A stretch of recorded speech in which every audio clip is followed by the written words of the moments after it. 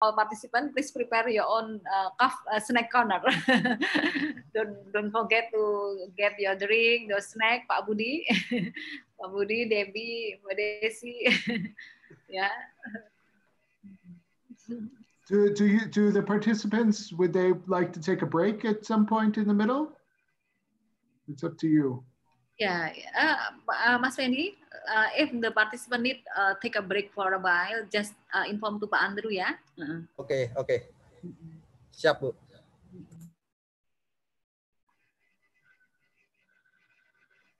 Oh, still many others, only 35 I see.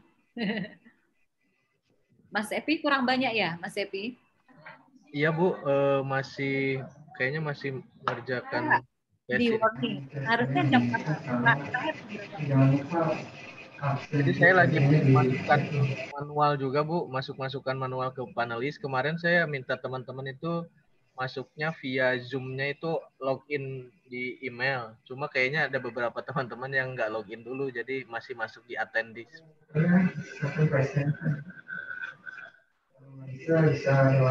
Andrew, uh, technological skill need very needed uh, in this time. Yeah, uh, when we use uh, when we use the technology of um, like online training, sometimes if we don't get very familiar, so we have to uh, need time to adjust. So please be, be patient to waiting for. Oh, us. of course the website worked very well, though. I was able to put in the quiz questions. It was uh, it worked very well, I thought.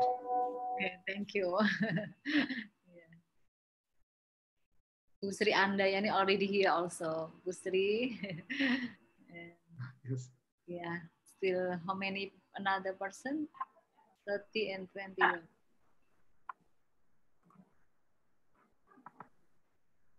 Masih berapa, Cepi? Sudah 52 ya, harusnya 65. Uh, peserta 65, Bu. Jadi ini kurang masih banyak ya. Hah? Apa, Bang? Yang peserta 21 ini, Bu. Baru 21. Termasuk kita. Oh. Tapi mungkin ada yang nggak login pakai Zoom, jadi masuknya di attendance. Pindah-pindahin bisa.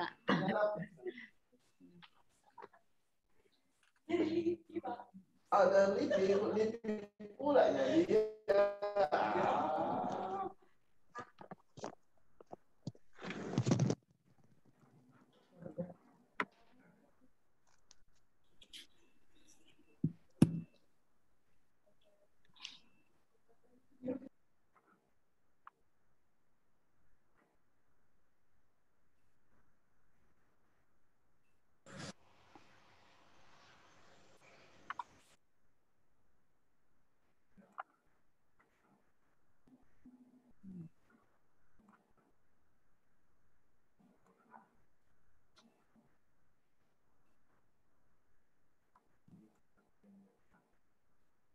Pak Andrew, while waiting for other participants, could I uh, ask something? How about uh, work from home in uh, Washington? Still happen or already all the FO now? Everyone at uh, IMF is working from home. Oh, okay. All still all staff. Oh, okay. Everyone, oh. everyone. So uh, some people who are from other countries went back to their home country Oh, really? Um, they work from their home country, yeah? yeah. So it's, it's, totally closed, yeah? totally closed. And, and that's true with uh, just about all offices in, in Washington, still closed. Hmm.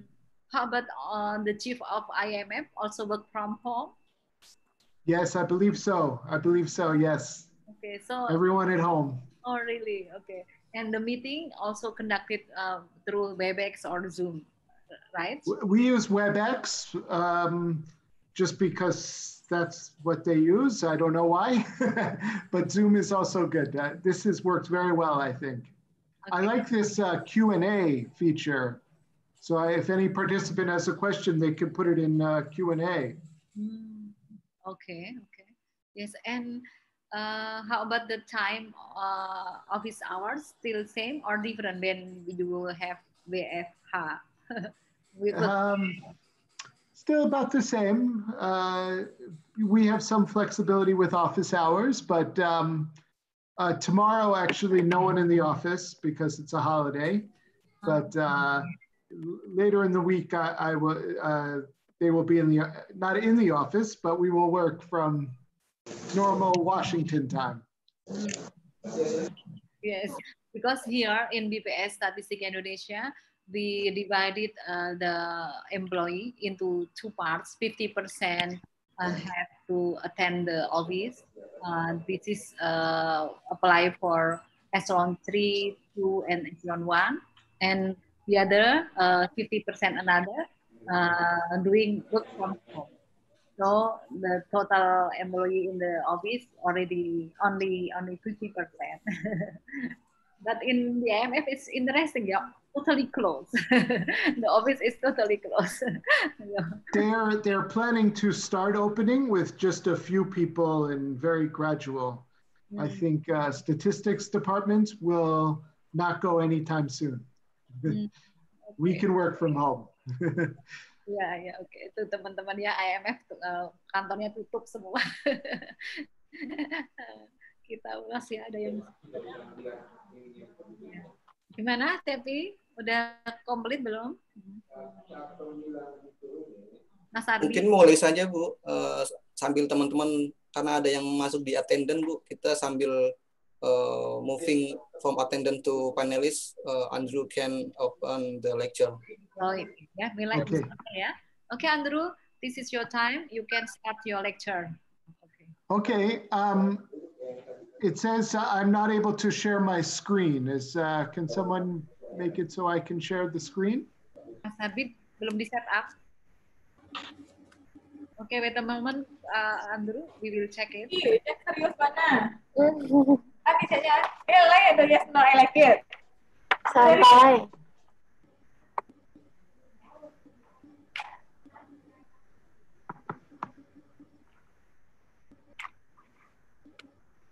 Okay, Andrew, you can share now. Okay, thank you.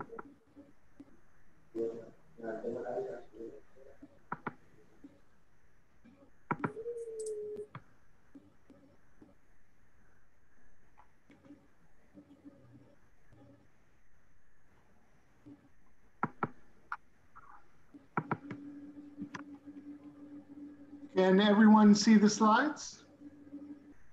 Yes. Yes. Okay, very good. Okay, well, hopefully the uh, quiz wasn't too scary for everybody. Uh, remember, it's it's uh, okay to get low score at the beginning and then get higher score later.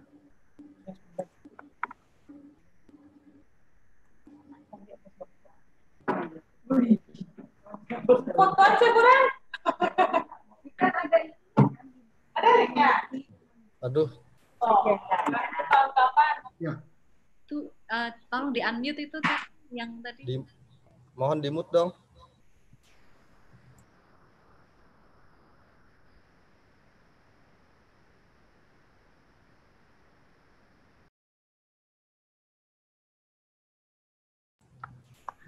Okay, I'm, uh, thank you. I'm all uh, set to get started here. So this course this week, we're going to be talking about PPIs for services. So I, I thought I would start here with just uh, some general conversation about why this is important. And so why the bosses uh, at BPS should care, why the central bankers, why the, the policymakers around the world um, who are the customers of these PPIs, why they should care. And services is growing as a share of the worldwide economy. It's happening um, in most countries.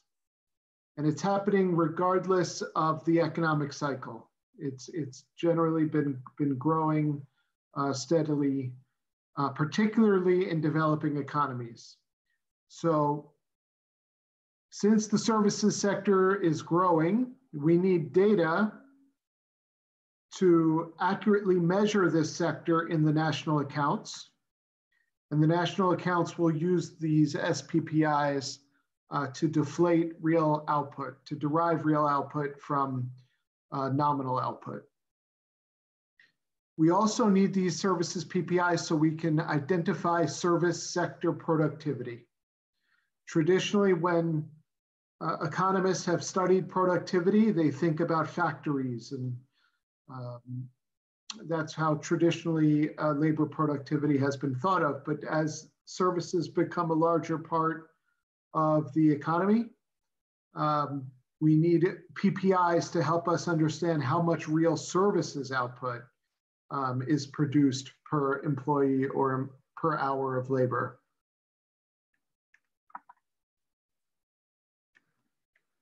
So this chart shows, um, based on 2006 data, uh, the percentage that services make up of the total economy in uh, countries around the world. Um, but generally, it's in almost all countries, it's above 40%. And in more than half of countries, it's over 50% of the economy as of 2016. We expect it's grown since then. And you can see as countries develop and, and move up uh, in, in terms of their, their income, they tend to develop more services. And so uh, Indonesia has been growing very fast over, over the last 10 years.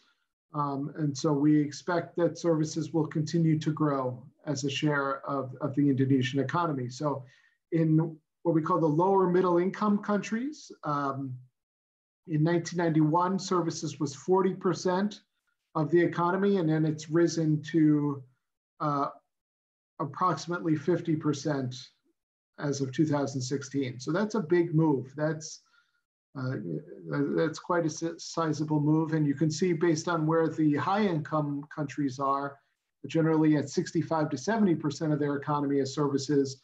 Uh, we expect that number to continue to grow as countries uh, develop. So why do we need SPPIs to, when I say SPPIs, sometimes I'll use that phrase for Services Producer Price Index. Uh, sometimes I will call them SPPIs. Um, so when there are no SPPIs in a country, national accountants will typically use CPIs to deflate services. And that's the best available option for many countries. Most countries around the world do not produce SPPIs. So as I mentioned before, Indonesia is ahead of, of most other countries with the fact that you already produce some and are expanding to produce more. But when SPPIs are not available, the national accountants will typically use CPIs to deflate services output. And CPIs represent a very different basket from PPIs. CPIs measure domestic expenditure by households, whereas PPIs will measure everything produced by resident firms. So a CPI that looks at uh, resident expenditures will, will completely exclude exports, right? Because if, if a good is exported, it's not consumed by a resident household. CPIs also then would include imports. If Indonesian consumers are, um, are, are spending money on imported goods, that they're going to show up in the CPI, whereas they would not in a PPI, because the PPI is only looking at goods produced by companies uh, within Indonesia, goods or services. And obviously a big difference here is that a CPI excludes sales to businesses and governments. And there's many service activities where they are dominated by sales to businesses and governments. Warehousing is one example. Freight transportation, which I know you're, you're working on. Um, commercial rents is something that would not be in the CPI at all, but is an important part of um, domestic output. Advertising sales, you know, companies uh, that sell advertising on the internet or uh, put advertising on television or radio, that's something a business buys. The business buys the advertising time, not a household. So that would be completely missing from a CPI. And so based on these differences, we see that CPIs and PPIs don't always move alike. So this is uh, in Europe, where they aggregate SPPIs across all the euro area economies. You could see over the period from 2007 to 2018, SPPIs changed far less than services PPIs. Uh, excuse me, services CPIs, excuse me. The blue line is CPIs and the orange line is SPPIs. And so that's, I'm graphing here just the, the percentage change in the index, not the index levels. So this change is even more dramatic than it might appear. If, if uh, in 2010, for example, if you used a, a CPI, you'd, you'd be deflating a series that was growing at 2%, whereas if you used the SPPI, it would be growing less than 1%. That's a big difference for a deflator. And we also see a similar pattern in Japan, where the SPPI tends to move a little bit more like nominal uh, GDP than does the, the services CPI. So when you zero in, even on activities that are exactly the same, here I have legal services from the United States. Um, and you can see that the, the CPI for legal services, which would be you know, things that if, if an individual needs to make some kind of legal document um, or they are accused of a crime and they need representation, that would be included in a CPI. And those prices were much more volatile in the US than the services PPI, which is more business uh, services purchased by businesses, large businesses, where prices are a little more stable. So you could see if we didn't have a, a services PPI for legal services, real GDP would probably come out quite a bit different if it was deflated with a CPI as opposed to a services PPI. So that is why SPPIs are important and why we want to produce more of them. And as I mentioned before, productivity is just extremely important for understanding the drivers of economic growth. Um, so, and, and to, to get accurate productivity data for services sectors, we need SPPIs.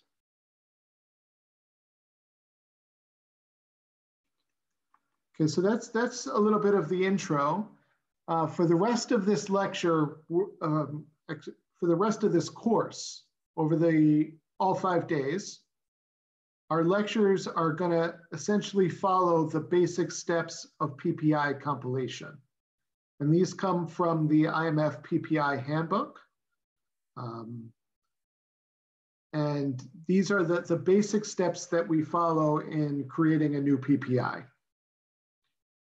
We'll come back to this list in, in each of the lectures that we, we go through this week. But in this first lecture, I'm going to cover the first two steps, determining the objectives, scope, and conceptual basis of the index, and then deciding on our coverage and classification structures. Later on, we'll talk about weighting and sampling and, and most of these other steps. So when we talk about SPPIs, I'm going to be uh, discussing compilation of output PPIs. So output means everything that's sold by resident producers. This is in contrast to a wholesale price index, which covers prices for expenditures by residents that are not consumers. So that's basically everything that businesses and institutions buy. That's different than an output PPI, which is totally focused on what resident firms are selling.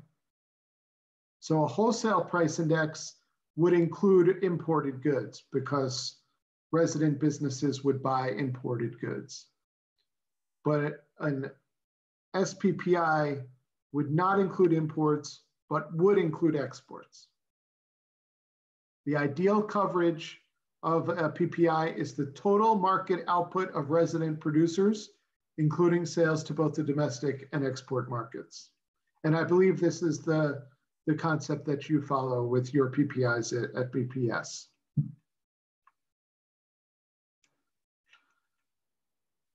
So in this chart, I, I, show there's various options for, for these different aspects of PPIs, but this course is gonna cover those options shaded in green. We're gonna talk about output SPPIs that cover all resident units, including those that sell only to the export market. Basically, any company that is producing um, within Indonesia and we would include sales to all buyers. Now, some countries, including some major countries like Japan uh, and, and Europe, only include sales to businesses in their PPI, what we call B2B, only businesses selling to businesses. However, we recommend coverage of businesses selling to all buyers, including to households. So sometimes this is referred to as B to all. Everything a resident producer sells, regardless of who they sell it to. And of course, under that concept, that would also include exports.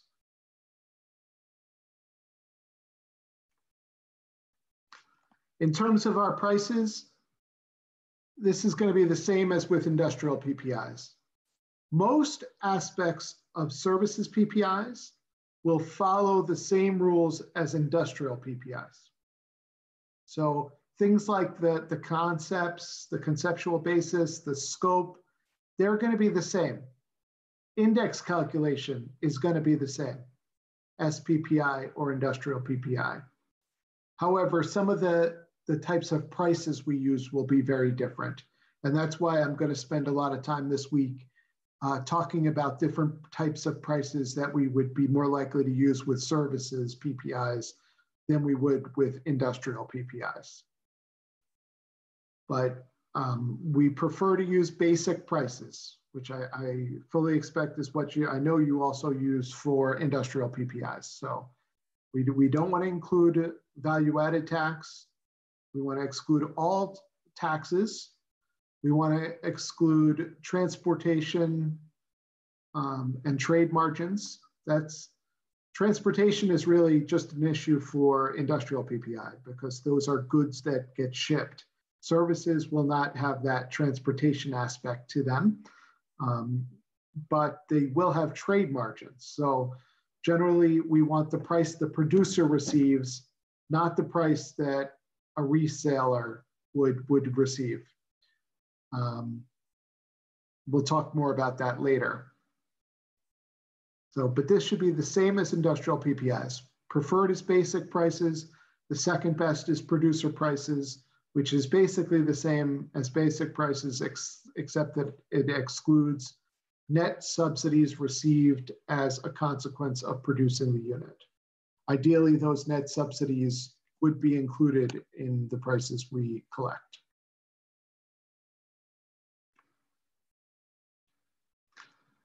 Okay, so one thing that I think becomes a little interesting with services um, is the issue of when should prices be recorded. And I have an example here. My, um, I apologize because this, this training lecture was uh, originally given in Thailand. Uh, so a lot of my examples are going to refer to Thai businesses, and they're going to use baht as the currency uh, starting with, with this example here. So let's say we have uh, a flight from Bangkok to Chiang Mai.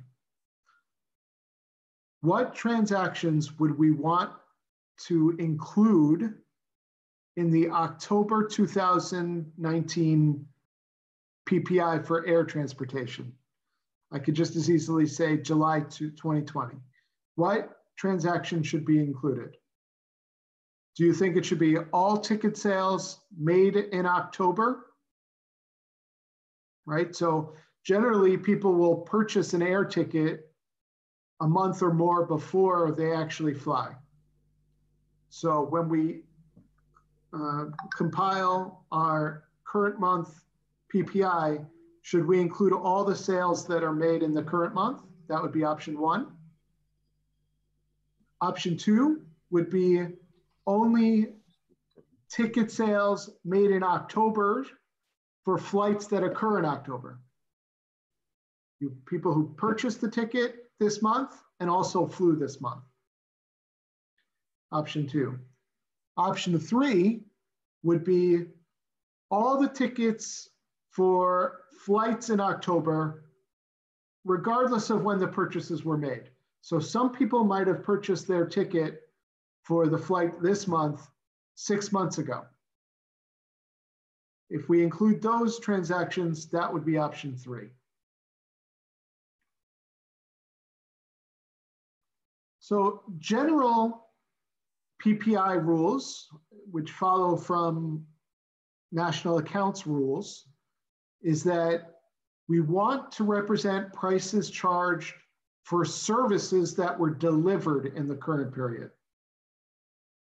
And that includes payments that are made either before or after the current period. This is consistent with the accrual principle used for national accounts.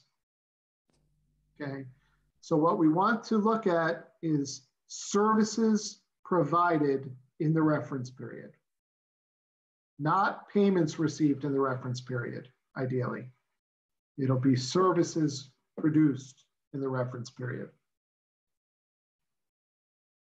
Now, sometimes some services are offered with contracts lasting one year or more, and it's you're unable to break that into prices for a particular period. Uh, an example for this might be a three-year contract for designing and building a bridge. Now, that's something that they're not going to transact every single month. So in, in special cases like that, we have alternative methods that we'll talk about when we get to types of prices. But the general principle is that we want the prices for the services delivered in the reference period. So based on that rule, I would say the best practice would be choice number three here all the sales for the flights in October, even those that we were paid for in the past. Uh, this is maybe not always be possible, but this is the uh, theoretically best option.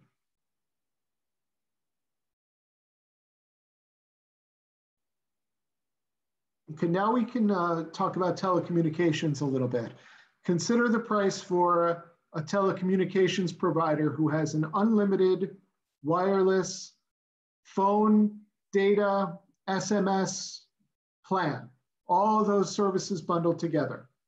And the subscribers have two options.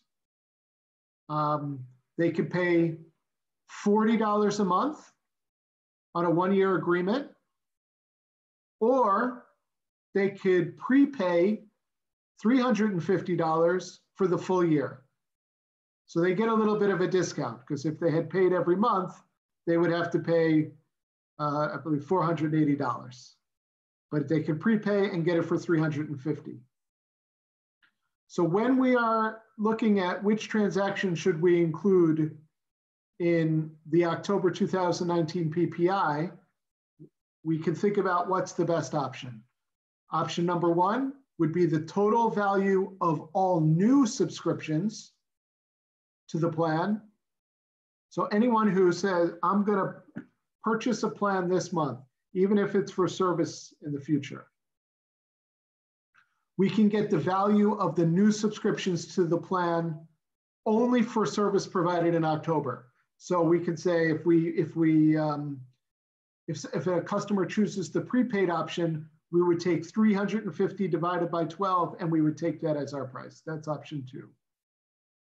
And then option three is the value of all active subscriptions in October, including the monthly rate for annual contracts signed in prior months. So let's say in January, the provider was selling this plan with a prepaid option at $300. So that customer who might have purchased in January, they might be paying a price uh, that's lower than customers who take the prepaid option today. Maybe there was a price increase between January and October. So if we include that lower price for the January customer in, in our October price, we would choose option number three.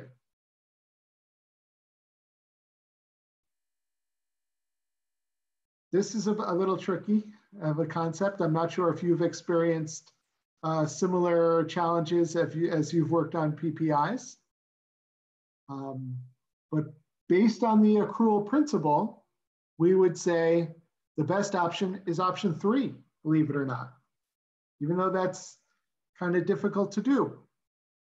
We would say, okay, look, who's getting service in October?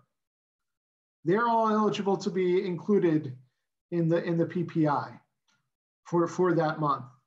So really, the scope of the PPI that month for this producer should be the value of all active subscriptions in October, including those that got the good rate from last January. Again, that's often hard to do, but from a conceptual point of view, we want to look at all the sales that the pr producer is, uh, all, all the revenue that they're receiving for services actually provided in the reference month. Okay, in terms of classification, we use ISIC Rev 4 um, or a national equivalent. Um, and, and if we have a product classification, we use CPC or some kind of uh, a national equivalent classification. So again, the, the classification should be exactly the same as industrial PPIs. Okay. So now I want to move on to talk about um, thinking about which activities to cover with SPPIs. Um, I know that you already produce some SPPIs and you're currently working on telecommunications and freight transportation. And maybe once uh, those projects are concluded, then maybe you think about moving on to other uh, services activities. So I have some categories that I, I recommend as factors for you to consider when thinking about which activities to cover with SPPIs. So this is not, this is my advice, basically. This is not a rule set in stone, but based on my experience working with SPPIs over many years, I think there are six key factors uh, that I recommend that you consider when thinking about which service activities to cover. The first one is the prevalence of market pricing. Activities provided without market prices are nearly always excluded from the PPI. So what is a market price? You know, there's not a great perfect definition of a market price, but I think the best one I've found is that Market prices are the results of negotiated agreements between buyers and sellers. If you have a service where everyone has to buy it at a particular price, that's not a market price anymore. That's some kind, you know, and there's many services that may be offered at non-market prices. Um, typically, services provided by the government are provided without market prices. Typically, that's not always the case, but typically. So examples of ISICs that are often uh, provided without market prices are things like public administration. You know, um, there's no price that everyone pays for the services of BPS. It's generally a service provided without a market price. Um, often primary education if it's offered by the government. Um, if it's offered by the private sector, that's a different issue that then they might have market prices.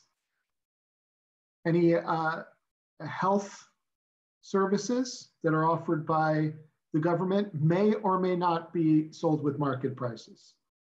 Sometimes they are, sometimes they aren't. I think the, the situation varies in different countries. But in any case, if you have sectors within uh, within the services uh, ISICs that are provided without market prices, that's areas we don't want to touch with an SPPI. So once we've excluded those, the next factor we could consider is the relative importance of the activity to the total economy. So that's, you look at, at, at the national accounts, you see which one has the largest contribution to GDP, and that's a pretty good start. Once you exclude uh, those services that are offered without market prices. Okay, so, so now what I would basically take that list as my starting point. Which are the biggest service activities uh, that are offered with market prices? And then I would think about, okay, where do we already have pretty good deflators? Um, and generally, we said the national accounts are going to use CPIs.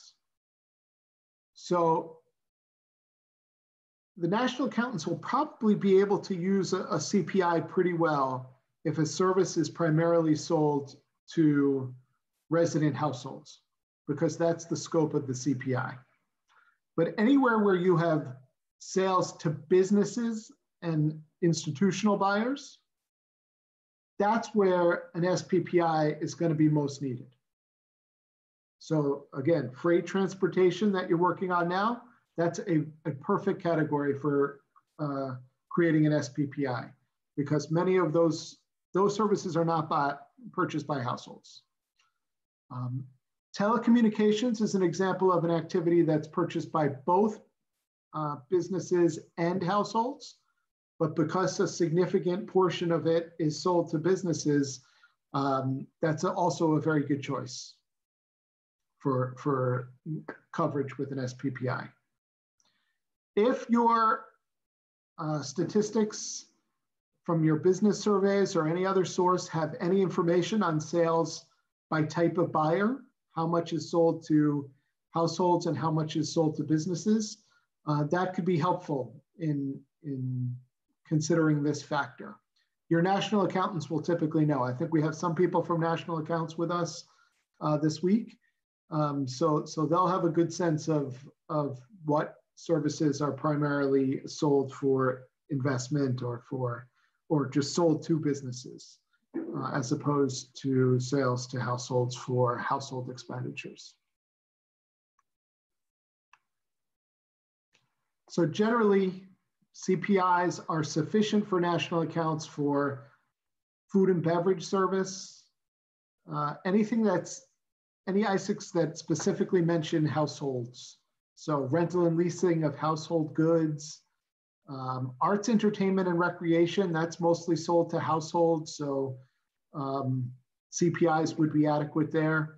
Uh, personal service activities such as, as barbers and hairdressers, um, those types of services would not be typically the top choices for SPPIs because the CPIs will be perfectly suitable for deflation.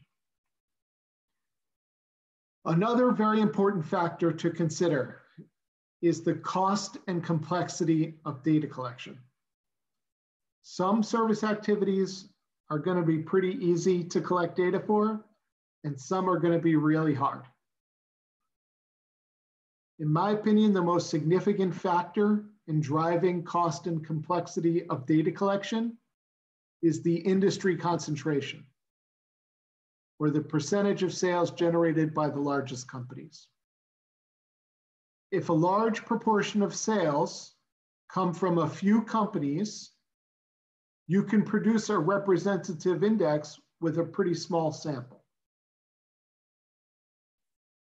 Um, telecommunications might be an example of a service that you can generally get pretty good coverage with only a few firms. An example of, of a service activity that is has low levels of concentration would be supermarkets. There are supermarkets all over the country, food shops all over the country. So to get an adequate sample of all the food shops, uh, you, you'd need to spend a lot of money to collect a lot of units.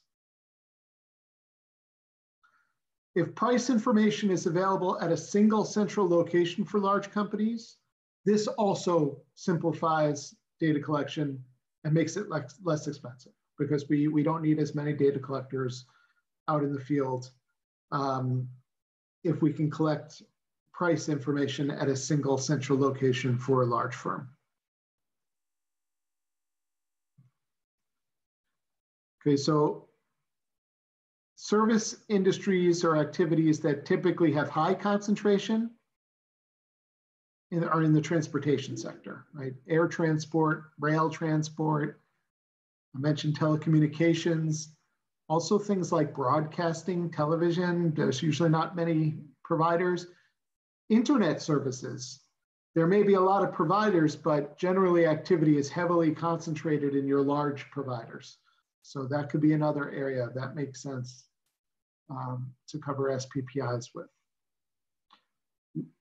Low concentration, like I mentioned, retail and wholesale trade, repair of motor vehicles. There's typically many, many shops around uh, the country.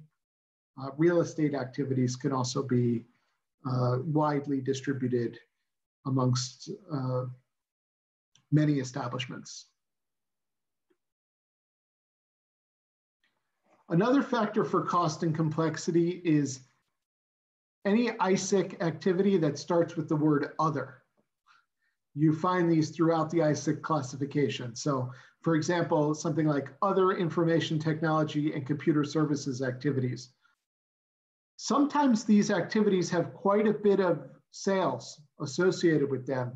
So if you're looking at which are, are the biggest contributors to the services uh, output, you might find some of these other activities are significant. But they're very challenging to collect because generally they represent a large variety of activities that often have very different price determining characteristics. So that means there's a lot of different services you'd have to understand and prepare your data collectors to collect. Um, also, these other categories, if the other categories are getting very large, that means that there's some service activity that's growing pretty fast. And what typically will happen is that they'll make a new ISIC for that activity. Like some of the internet services we saw started out in these ISIC other categories. And then when they got really big, ISIC expanded and made a new four digit to cover internet activities. So you don't really want to spend a lot of time and effort making SPPIs for these other categories, because if they start pulling things out to make new ISICs, you're going to lose your continuity of your data series anyway. So um, I, as a compiler, I never liked having to do other activities and I would try to convince my bosses not to do them.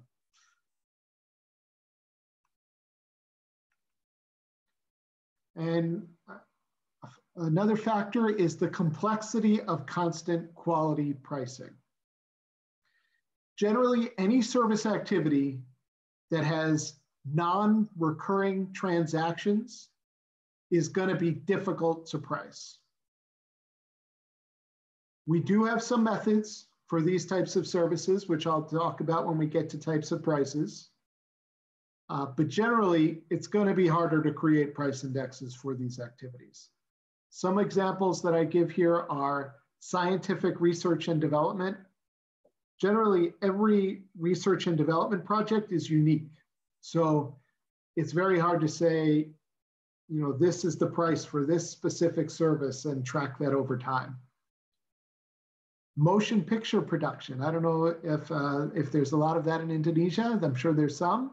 Um, you know, every movie is different. So the studios who make the movies, it's it's very hard to get a consistent basis to form a price index. And we often see this also with professional services. So I gave the example earlier of building a bridge. You know, an engineering firm works on building one bridge, they're never going to build that bridge again. So it's more difficult to um, create a matched model with the same product being sold each subsequent period.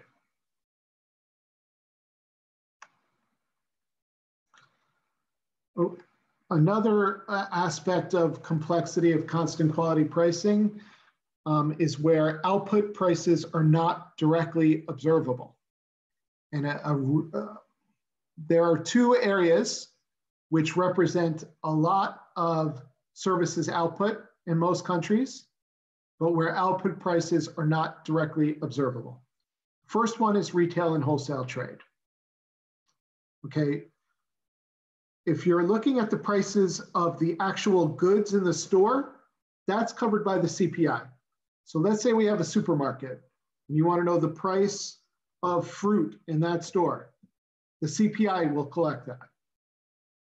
As the PPI, we are interested in measuring the output of the supermarket. Okay. And based on the concepts from national accounts, the retail and wholesale trade sector, their output is not the fruit or the vegetables. It's the retailing and wholesaling service. So in the national accounts, retail and wholesale trade is measured based on the margin between the price at which the retailer purchases the product and the price at which they sell it that represents their output. So to create a PPI for retail and wholesale trade, we would have to identify that margin between the price at which they purchase the good and the price at which they sell it. It's not easy to do. it can be done, but it's very difficult. Another uh, similar se sector is banking. Banking, again, could be very large, uh, depending on the country. Um, but based on national accounts rules, banking is measured uh, with the FISIM concept. It's a word that only means something to people who work in national accounts. And it basically means financial services indirectly measured. So the difference between how much interest is receivable, well, actually, it's even more complex than that. You have one price for loans and you have another price for deposits. And the price is the difference between some reference rate and the interest they charge on loans or the interest they pay on deposits. There are um, countries that, that do banking PPIs. I worked on them in the United States, so they can be done, but it's certainly a complex area that would not be one of the first areas you'd want to try to cover with SPPIs. And finally, and, and often the most important factor is what your users want. what kind of data are they looking for? And your key users are gonna be your national account staff, productivity researchers, economic policymakers, staff at the central bank. And if you have regular communication with your key users, it'll be easier for you to get a sense of what deflators they really need to be produced. So very important factor. Okay, I know we're a little bit over time, but what I would like to do now, if we could, is um, maybe first I'll just stop and if there are any questions, I'd be happy to answer any questions anyone has. You could either, if you want to talk, I, I don't know, I'll, I'll, defer to our organizers here. Um, I would say either you could ask it or you could write it and I can try to get to any questions. And, and then I'll like to, to talk a little bit about uh, your plans at BPS for working on SPPIs. Okay, uh, thank you, Andrew, for the presentation. Uh, maybe we have, uh, if uh, there is any question, please uh, raise your hand or send it to the chat column. Uh, but we have already four participants. First, uh, for Pak Imade Putra Astawa, you can ask the question. Aku left?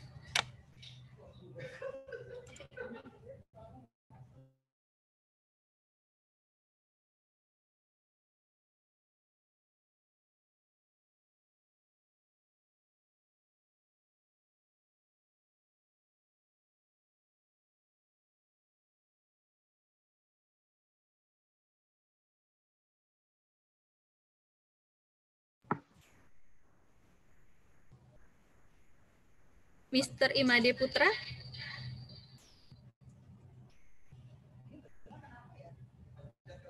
Or maybe the next participant, Mr. Sahunan from BPS Sultra. Oh, sorry, Mrs. Mrs. Sahunan.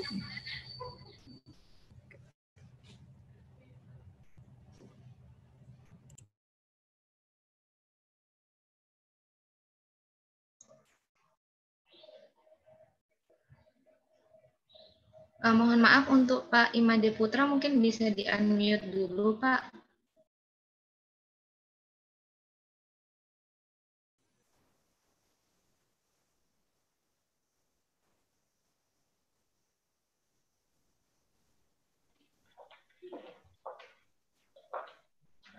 Belum terdengar, Pak. Belum terdengar, Pak.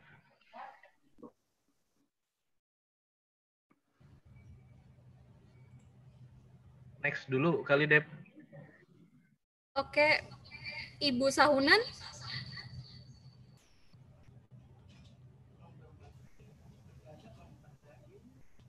Uh, thank you.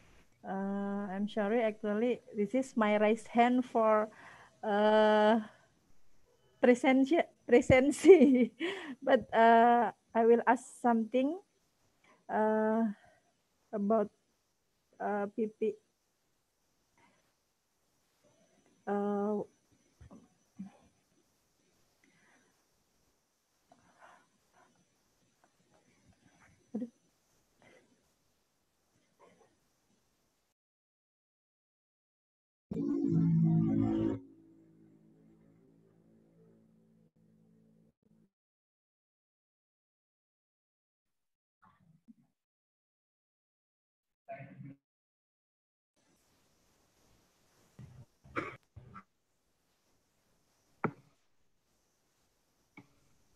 I see someone asked a, a very hard question in the chat.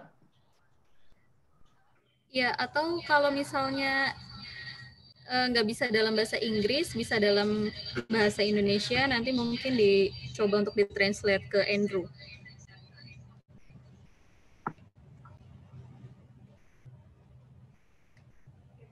Silakan Bapak Ibu. Any question? Hel- Hello?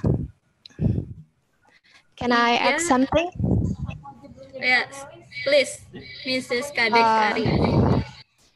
Uh, hello, Mr. Andrew. Uh, previously, I sent you a chat, and I directly I would like to ask something you, with you. As you mentioned in, on previous slide, uh, activities provide without market price are nearly always exclude for PPIs. Uh, I'm from I'm from expenditure account, and I'm in charge in general go- general government account. So I would like to ask, uh, what is suitable price index for non-market activities, especially for general government and such as uh, public administration? Uh, am I clear? Oh, yes, very clear. Thank Yeah. you. It's an excellent you. question. Now, I'm a price index uh, person. Uh, you are national accounts. I feel like you probably know the answer better than I do, but um, I will try. uh, in my experience, normally as a price index, we don't create price indexes for public administration. Um, and most of the times they are deflated by based on cost information for the government sector. So any information about uh, costs, what expenses of of, uh, of government. I think they make cost-based deflators, but I, I, apologize that I am not a, a national accounts expert. um, but I, I, would be happy to to try to uh, actually I, I think uh, the IMF has produced some documents on deflating government expenditures, and I can try to uh, locate those and, and send them on because it's an excellent question. So there is no PPI for savers for general government, and uh, maybe uh, we we, we uh, now in uh, in a, a, national account we try to uh, looking for a good index for general government too and I hope you can uh, give me some advice or maybe some best country practice maybe for uh, for uh, for maybe price index for uh, general government maybe. Can you give me some best country practice? Thank you. Sure. So, so what, what I will do is I will share a note that was compiled by some of my national account expert uh, colleagues um, that is about deflating the government account, and I will I will send that on, um, uh, and um, and then maybe if you have a chance to take a look at it, see if it's still unclear, and I could try to to gather some more information. Okay, uh, I will be glad if you send me, and I I waited for that data or that uh, that national practice. Thank you. You're welcome. Thank you for the question. Thank you, um, Mrs. Kadek. Uh, and then for the next question, uh, there is a question at the chat column from Mr. or Mrs. Nuri. In my region, PPI on services like health and education is the same with CPI because it's direct, no margin or transport. Yeah, that's, a, so an excellent, excellent question. Um, um, so generally, health and education would be the same between a CPI and a PPI if the entire amount that the producer receives comes from what the household pays. But if the producer is getting some, some payment from another payer, whether it's a business who might purchase something or more likely the government, then those revenue streams are not included in the CPI typically. Um, and again, I know countries have very various practices with healthcare. Um, I worked in the United States, which has a very unique healthcare system, um, where many payments are coming from the government to the hospitals. And so those would be included in a PPI, but not included in a CPI. But yes, you are absolutely correct um, that there would be no margin or transport involved there. Um, so, but and and in some countries, uh, um, if if the total price of school is paid by the household, then yes, CPI and PPI would be the same. It's only when there's some payment received um, from someone other than a household that you would have a difference. And again, it's not just payments, right? It has to be a net subsidy as a consequence of performing a service. So if they're paying, if the government pays for certain patients who get a certain procedure, then that would be considered um, a market transaction that would be included for a PPI, but maybe would not be included in a CPI. But again, that varies by country, and it's an excellent question. I see here also we have a question about telecommunications. Maybe I could, I could take this one. Um, and, and this would be something we can talk more about on, I, I believe, Wednesday, if I have the days right. I want to talk more in detail about telecommunications with the folks working on it. Um, but how to calculate the monthly subscription if the subscription is for a year. There's going to be a couple different approaches we can talk about, but one one method that's commonly used for telecommunications is to use a unit value price, where we look at all the revenue that's coming into the provider um, for all the plans that are active. And that would include a, a, a per month price even for those annual subscribers. Um, it's a very good question. I'm going to come back to that in detail, so we'll talk more about that on, on Wednesday. But, um, you know, sometimes if there are services that are generally sold in an increment longer than a month, we could still collect those prices in a monthly index. We could track, you know, what's the yearly price paid by people who are purchasing this service now and include that as our price for the monthly index. Um, but like I said, I have some slides. We'll talk a little bit more about different pricing methods later, but that's a great question. Um, and, and, I apologize, but we will get to that. Um,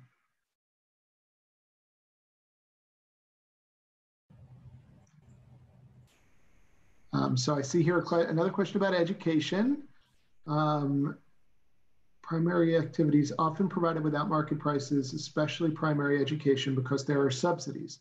Now remember, in a basic price, net subsidies provided as a consequence of producing a good or service are supposed to be included, ideally, if we can. So there's a, a difference between a subsidy that's just, I give you an amount of money to operate for the whole year, and on the other hand, um, a subsidy that is provided for each unit of service that's that's performed. Um, I'm interested maybe when we we talk later, we can talk about the, the Dana BOS. I, uh, it's always interesting to me because these uh, services like education and health are transacted very differently in, very, in different countries. So um, we, we could uh, talk about that more when, when we maybe have the smaller section with the, with the price statisticians of, of headquarters. But um, that's the general rule on subsidies. We want to include them if they're a consequence of producing the unit.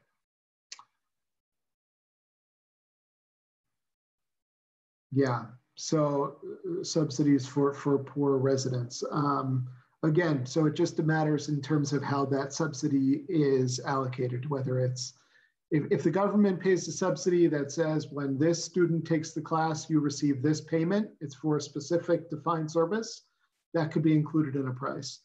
Uh, if it's if it's um, if it's not provided as a, on, on a kind of consequence of providing a specific service, just a general amount given to schools that serve poor students, uh, then that would not be included in a market transaction.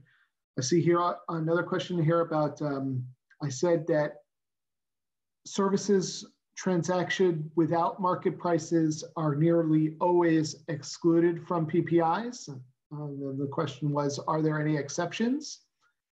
Um, different I, have seen countries produce indexes for, for goods without market service, without market prices. Um, in my experience compiling PPIs in the US, there were no exceptions. It was a rule for us. If there was no market price, we would not produce an index. Other countries I've seen have taken different kinds of, of prices, um, but I would need to evaluate those and see what they're doing. Uh, um, so in my direct experience, the answer, I would not recommend ever creating PPIs um, for services or goods that are offered without market prices because that means whatever you're tracking is, is not a price. um, I think prices are a necessary uh, requirement for making a price index. So, um, but there, there are different situations and they would have to be evaluated individually. Uh, some countries do create certain kinds of alternative indexes, but it's not using methods that um, are covered in this course or that uh, I train on. Let's put it that way.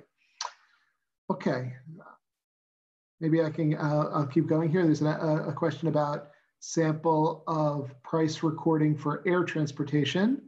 Will there be a different chosen option if we use direct pricing? Okay, so we're skipping a little bit ahead um, because we're gonna talk about these types of pricing options later. Um, I agree it's the most interesting part of the course. Um, will there be a different chosen option if we use direct pricing? So if you use direct pricing, the, the universe of transactions that are eligible to be included in your PPI would be those for services that took place in the reference period. So even if you're using a direct price, you'd say, let me look at who bought the tickets for this flight that occurred this month, this reference period month. And if the transaction took place in a previous month, that would be eligible to be included in the reference period PPI. That's the concept. And, and that comes from the national accounts. You know, if, if we think about the PPI as a deflator that aligns with um, out, nominal output measures, those nominal output measures are coming from services performed in the current period. It's the accrual accounting concept. So um, I think the best way for me to explain it is to say that the in theory, it's always best to get a price for the service provided in the current month. And if you look at only um, purchases made in the current month, that may not be fully representative of all the services that were provided in the current month. Now, I fully acknowledge that for many circumstances, we're not able to achieve that theoretical ideal. And, and that's common. You know, when I worked on SPPIs, we had to make a lot of compromises, as I'm sure every compiler does around the world. There's the theoretically perfect um, method, and then there's what we can achieve with realistically with what we can collect from businesses and um, what we can compile quickly. So those trade-offs um, are, are, are, done all the time. But here in this lecture, I was just talking about the con concepts. And from a conceptual basis, the ideal is to collect prices for services provided in the current period. Okay, I'm going to take a, a, a few more questions and then um, um, the, and then maybe some discussion about what your current activities in Indonesia, and then we'll move on to the next lecture. Um, let me go back here, make sure I've covered all these questions that have come in. Um, in my province, the dominant transportation is sea and air transport. What if during the pandemic data cannot be collected? Excellent question. Um, so uh, at the IMF, we put together a note that talks about continuity of PPIs um, during the pandemic. Um, some of the slides I, I, will cover when we get to index calculation come from, from that presentation. When no, you know, if there's no sea transportation occurring now for, for any given provider, we will impute prices is, is the practice we would recommend. So, so later on this week, I will give you an example of, of how to do that imputation. Um, but that is our recommended practice. If, if there are businesses that are not offering services or goods right now, or they're just not responding, maybe because they're, they're you know, we, we've seen response rates go down with the current pandemic around the world. Um, best practice is to impute missing prices. And we are going to cover that on Thursday, or I believe. Um, so stay tuned. That's an excellent question, a really, really good question. Um,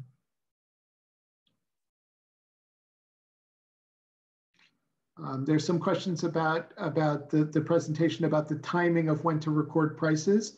Um, if panel, if uh, participants are interested, maybe I could stay on a little bit after we finish at uh, 11 a.m. and, and I could take some of those questions just so we can continue to move on here. Um, agricultural PPI, there's many commodities not produced continuously. That's, that's exactly right. So what we call seasonally available goods and services. Um, agricultural PPIs would not typically be included in, in, in service PPIs, but best practice for seasonally available goods is also to impute the prices.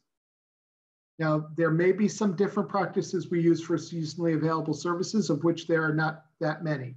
But if, if something is only seasonally available, um, I, am going to talk about that a little bit with uh, uh, accommodation services, which sometimes some um, providers would only be open in certain seasons.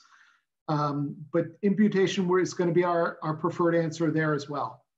Even when something is not produced for a certain number of months every year, we still impute prices for that product. That's the recommended practice for both the CPI and the PPI. So, so we'll cover imputation uh, on Thursday, and um, we could talk about how that gets implemented in PPIs in practice. Do you think that PPIs will give the same result with CPI when the service being produced is being consumed entirely as personal expenditure? The results should be exact. There's still a couple differences that may be important, even if all of the, the services for a given activity are um, purchased by resident households. The first is the treatment of, of um, transportation and trade margins, if they're a factor at all, because those would be included in, in the prices for CPI, but excluded from the PPI. So, you know, sometimes that tr those trade margins sometimes come into play with services. So uh, let me try to think of a good example. Um, you know, even it's different in different countries, but even some telecommunication services, what a, a household pays, there might be a middleman between the telecommunications company and the household who is like a reseller. Um, and if they take a margin, that would be included in the price of the service for CPI, but would not be included in the basic price for a PPI.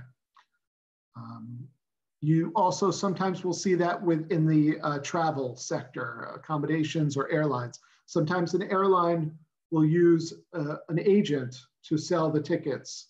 So if we look at the price from the household, they might include the, the fees taken by those agents, whereas that would not be included in a PPI for the airline directly.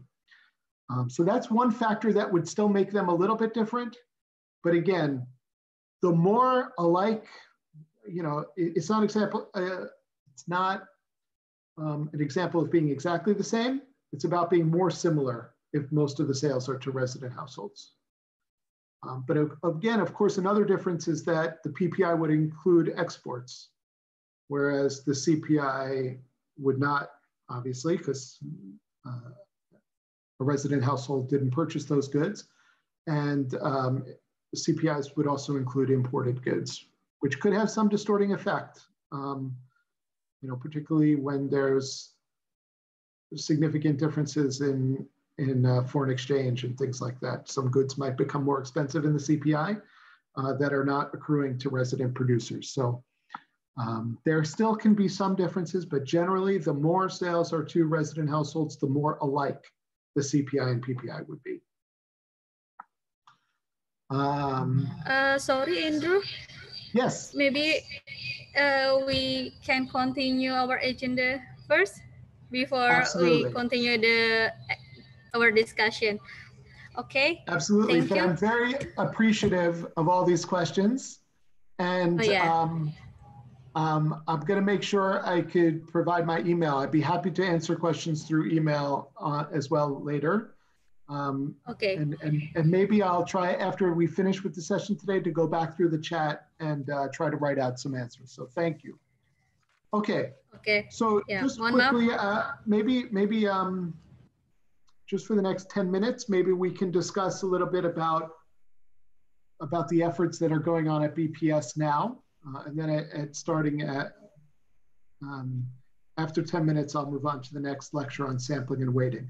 So, so um, my understanding, and, and you sent some information to me before we started here, was that um, I could see the SPPIs that you currently produce on your website, and that you're also now have collected data for telecommunications and freight transportation.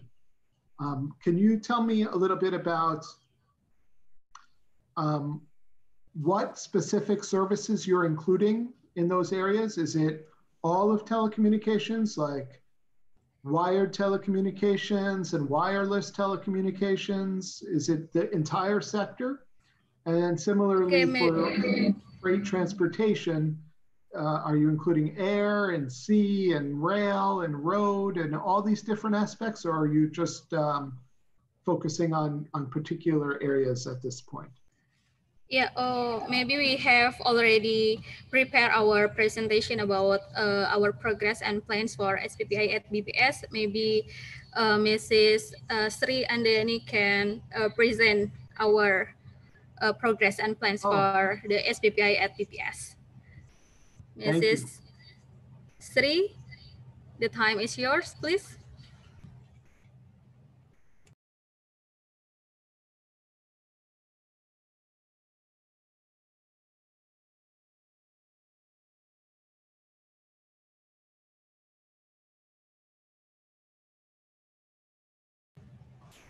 Cepi bisa di share screen yang materi dari SHP?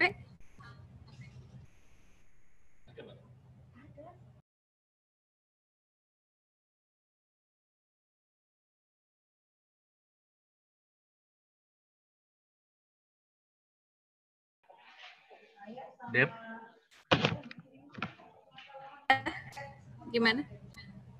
materi yang mana ya? Eh, sebentar,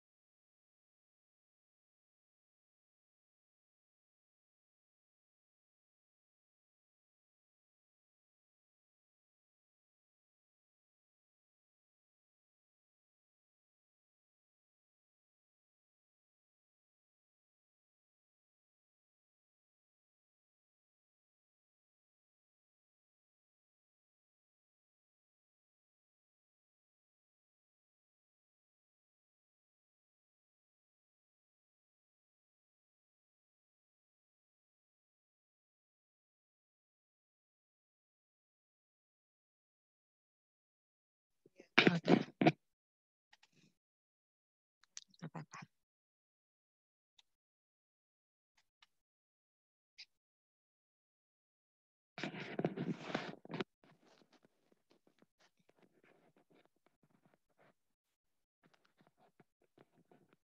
Thank you Mbak Devi. Assalamualaikum warahmatullahi wabarakatuh. Um, good morning everyone and good evening for Pak Andrew. Uh, sorry for being late because I have a problem with my uh, laptop. I hope you can hear me.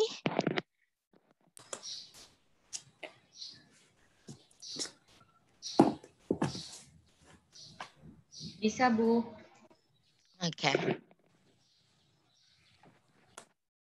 Okay. Um, I would like to present the progress for producing PPI for services in Indonesia.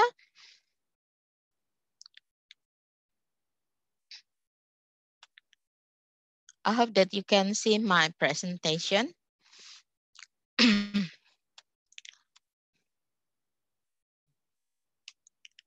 I would like to talk about uh, the progress of SPPI in general and then talking about the telecommunication sector, um, freight transport sector and passenger transport sector, education sector, and the last is health sector.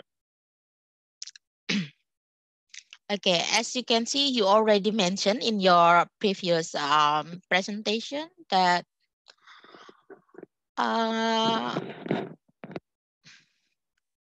service sector contribute quite a lot in developing GDP. In our GDP is around 50% shared by this uh, service sector. So that's why we are starting to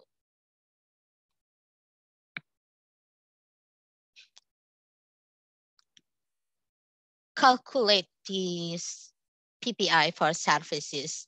As you can see here, that we start to collect the information from subsector transportation as it contribute 4.19% in producing GDP and for telecommunication, uh, telecommunication around 2.13 percent.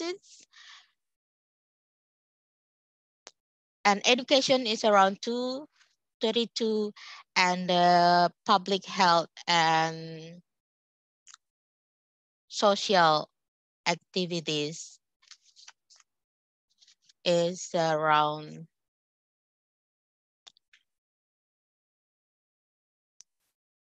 1.14 percentage. So that's why in starting 2014, we start collecting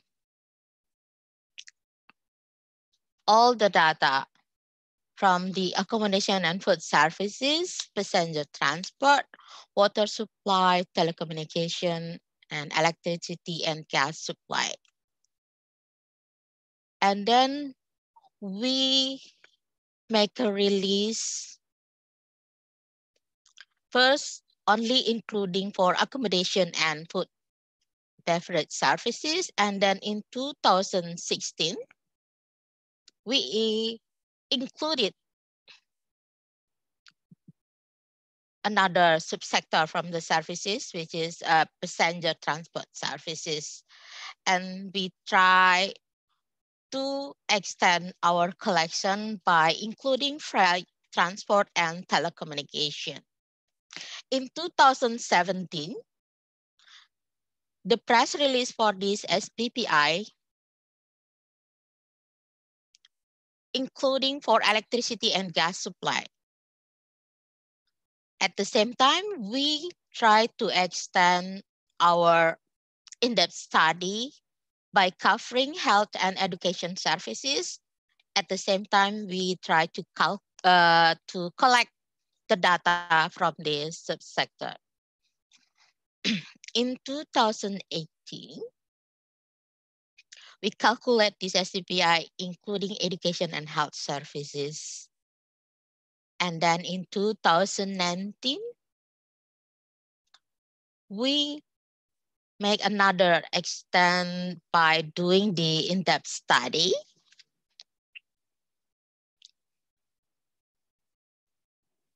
By looking at properly for all the problem in all of these uh, subsector services. In 2020, we hope that we can uh, make a press release, but unfortunately, we have a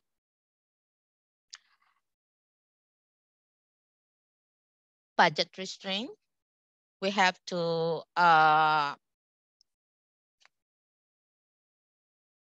reduce our budget. So we just uh, make a, another in-depth study by looking at uh, review and based on references, maybe just an administration uh, data to look through all these uh, services sector. That's uh, so far that we are doing for this SPPI development until now. Based on our challenges so far from 2014, we try to make a work plan. And this is um, subject to change because of the budget that maybe in the future we have to make an adjustment. That in 2020 now, we hope that we can make a PPI calculation for the first quarter. We hope that in uh, and uh, in the second quarter and third quarter, we can start to produce the price release. the next step for the information and communication, we hope that we can uh, produce the calculation also in this year. And in 20 2021 to 2022, we still make an in-depth study for warehousing and support activities for transportation, postal courier activities, whether uh, this um, contribution still quite low actually, but we still uh, looking through whether we can uh, produce this uh, PPI including PPI services for this subsector. The next two year, 2022 uh, and 2023, we will start in the study for construction. That might be the possibility that we can produce the SPPI, including this uh, construction. in the next year 2023 and 2024 we look through professional scientific and technical activities. This is still um quite ambitious i guess that we we will try to uh still look through if there is no many obstacles maybe we can produce, including this subsector. And the last is for financial insurance and activity. I think that's quite, uh, as you can see, quite uh, ambitious uh, work plan. We hope that we can still look through all the data that already available since 2014 based on in-depth study or starting from the collection that we try to make our data collection can produce a good quality of SPPI before we extend more or adding more subsector in services until we, I guess we we sure that we can produce by adding more subsector in services in terms of good quality. Now we can see from each subsector in services, start from the telecommunication sector. I guess the same uh, what you already mentioned that for the weight and basket that we are using uh, from the input output table. We use from the 2010 past year. And for the detailed product weights, we are look at from the wire voice text data and wireless voice and text data. For the sampling frame, based on the economic census 2016, we also uh, look at from the directory from our line ministry for these services. And uh, for pricing method, we use direct use of price uh, prohibited services. We collect the information from the first day each month until 15 of the day. The challenge for this subsector of telecommunication that we still have low response rate. As you can see, we have a uh, three uh, company in this area but we cannot collect easily for this information.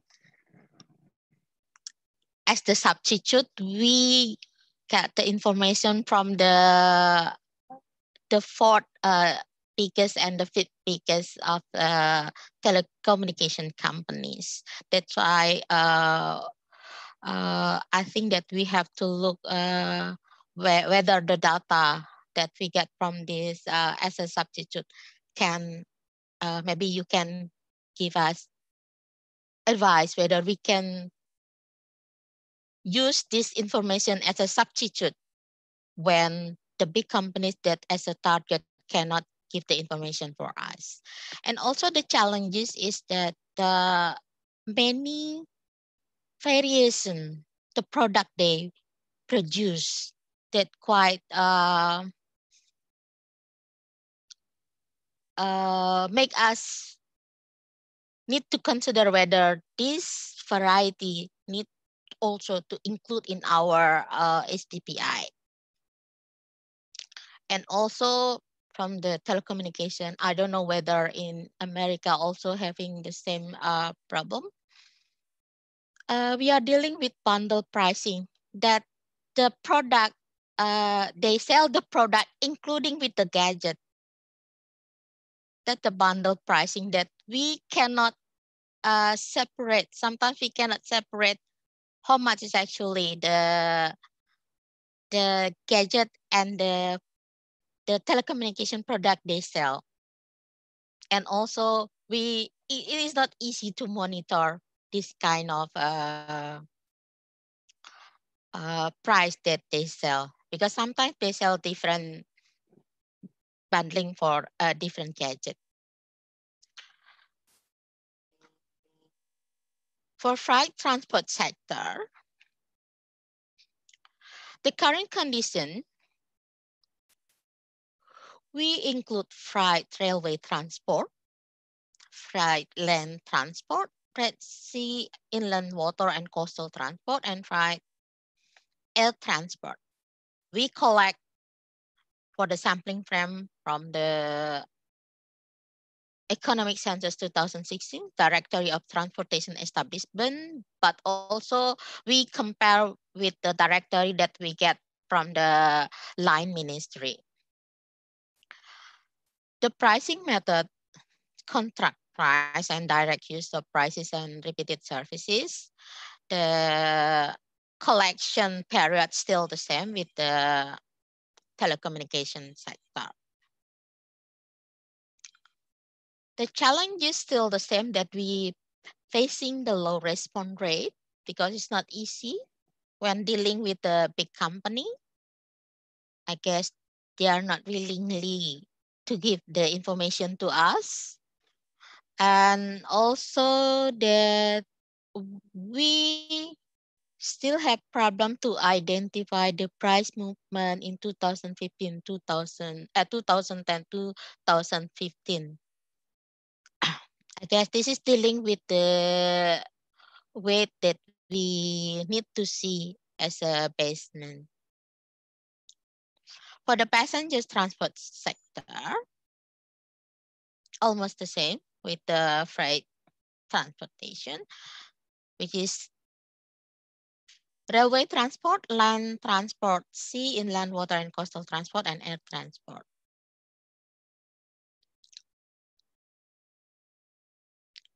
For this passenger transport, the data source for the survey, the price that we collect is including the price for weekdays and weekend. We acknowledge this because we know that for weekday and weekend price quite uh, different uh, price that quite large the difference. That's why we have to include these uh, prices. The challenges for these passenger transportations, the same that we are facing for low response rate.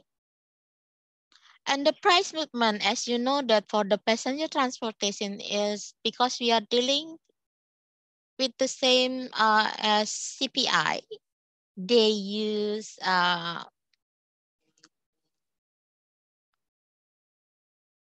I guess the CPI is uh, more stabilized in term of collecting the information. So sometimes that for this um, data, we just use the CPI information when we cannot get the information from our target.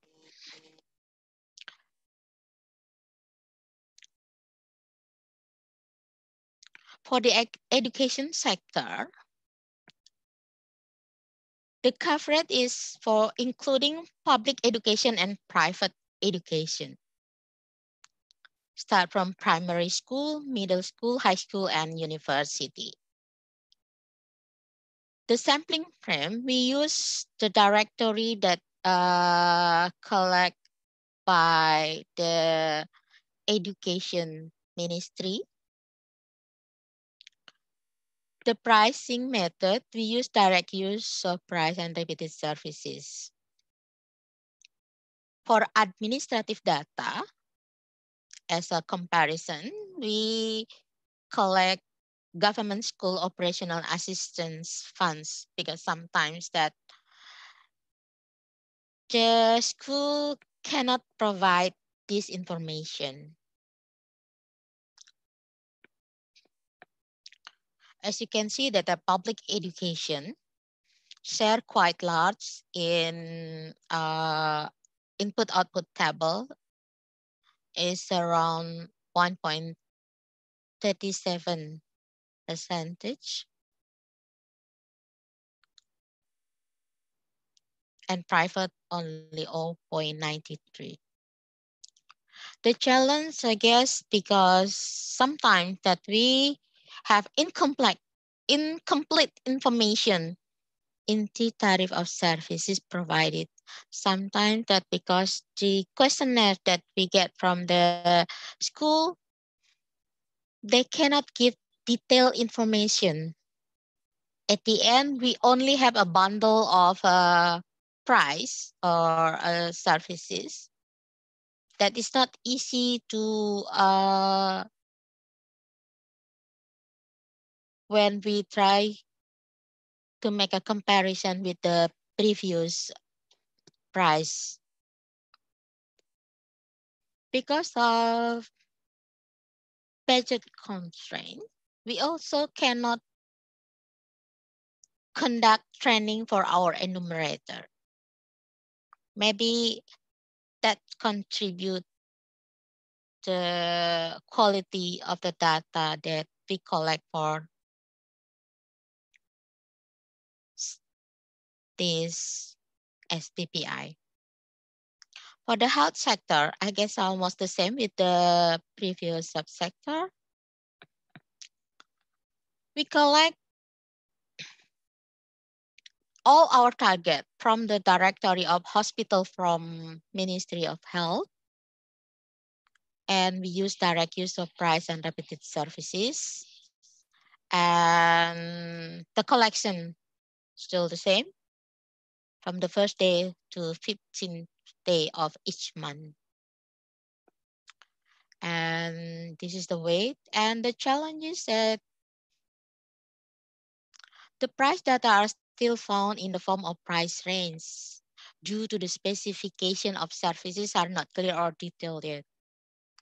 And also because we are not clearly uh, understand the services that produced by each of hospital or uh, clinic. That's why sometimes that we cannot uh, make it in a detail uh, or make an adjustment based on this price range. I hope that based on this information, you can uh, give us solution or give us advice and Andrew how we can uh, move from this challenge to produce a good quality SPPI. That's all that we can uh, say. Thank you, Andrew, for the time that uh, you give for us to explain about the progress of this SPPI in BPS. Back to Debbie as the host. Thank you. Thank you, Bu Sri.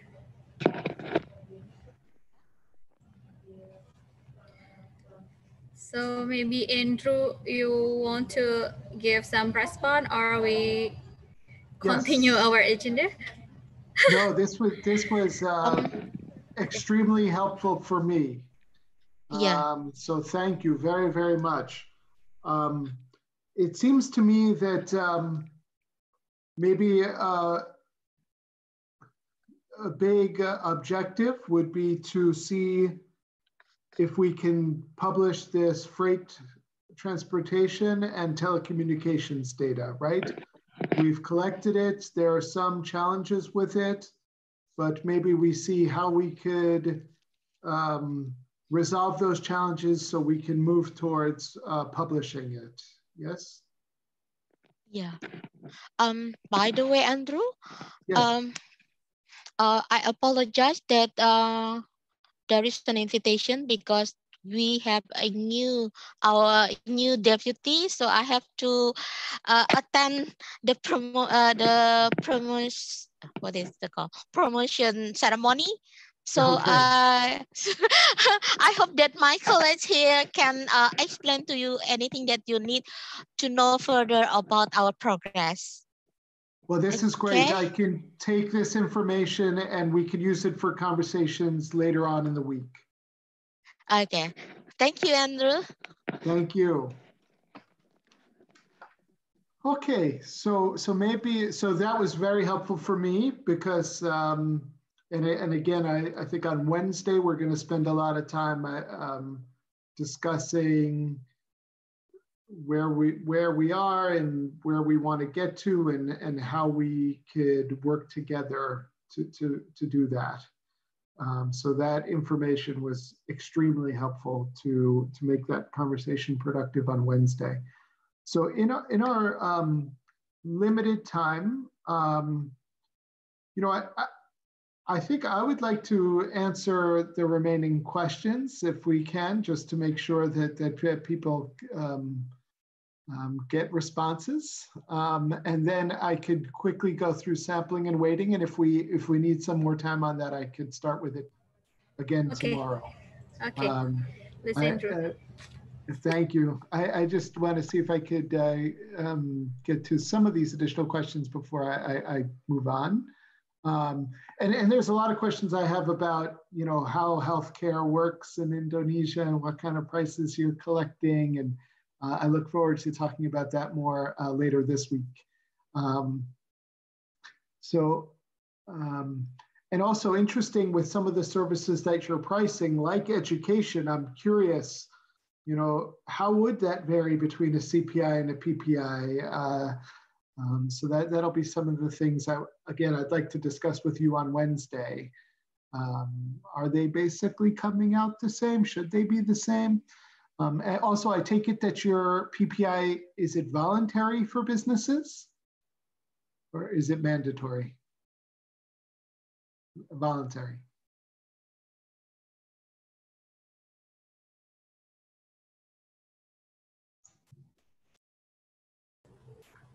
Uh, I think it's a voluntary.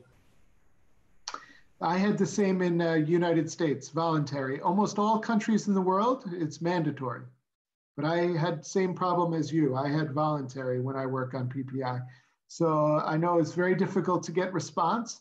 Um, when you're dealt with a situation where you have a couple of very large important firms and none of them will participate, uh, I'm going to see if maybe we could talk about are there other things we could do to try to get participation from these companies? Are they already completing some kind of regulatory price reports? And can we try to see if we can align the PPI collection more with those existing reports? I, I know I'm sure you've tried uh, everything you can, but, but I look forward to discussing that more with you on, on Wednesday. Um, okay you know, what, maybe it would be best if I go to sampling and weighting just because I'm having trouble getting through, all, uh, looking, finding all these questions. And I'll try to write down the questions and come back to them uh, tomorrow. Okay, so sampling and weighting, let me pull up that presentation. Um, let me share my screen.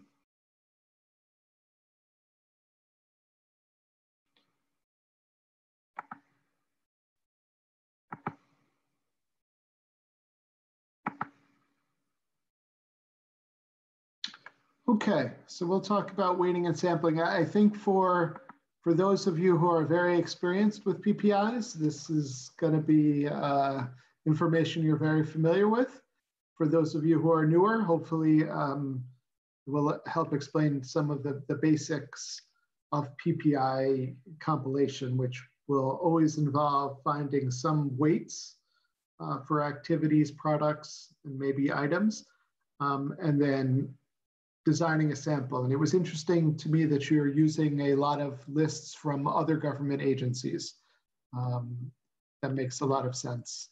So when we talk about weights in this course, there are three main types of weights. Activity weights, detailed product weights, and then item weights. Now, I know different countries use different terminologies. So I'm going to try to describe it the way I'm familiar with it, and then maybe I'll learn how what, what words you're using for some of these concepts, and I can adjust to to your language. But uh, let me try to explain what I mean when I use these three phrases. I think activity weights is is kind of um, the most clear, right? You you have a, a certain weight for health, for education, for, for transportation, um, so, so those are our activity weights. Um, and we said usually we're, we're using ISIC Rev 4. Um, and activity weights ideally are production values. What was the total production of all businesses classified in this activity in the reference year? And production value is sales plus change in inventories. Now, one of the good things about services is we don't have to worry about inventories. So for services, production values and sales should be the same. Okay, so we just can take the total sales for all the companies in the weight reference period. And so I think for your PPIs, the weight reference period is 2010. And you are aligned with national accounts. When they update, you update as well. That's um, strikes me as fine. Um, if you have a business survey that goes out more frequently, you could consider updating weights with that more frequently, but that's uh, a choice. Um, so gener generally activity weights come from, if you do an economic census, most countries do not, that's one source, or just your regular business survey. That could often have good information about total sales um, of businesses classified in particular ISIC activities.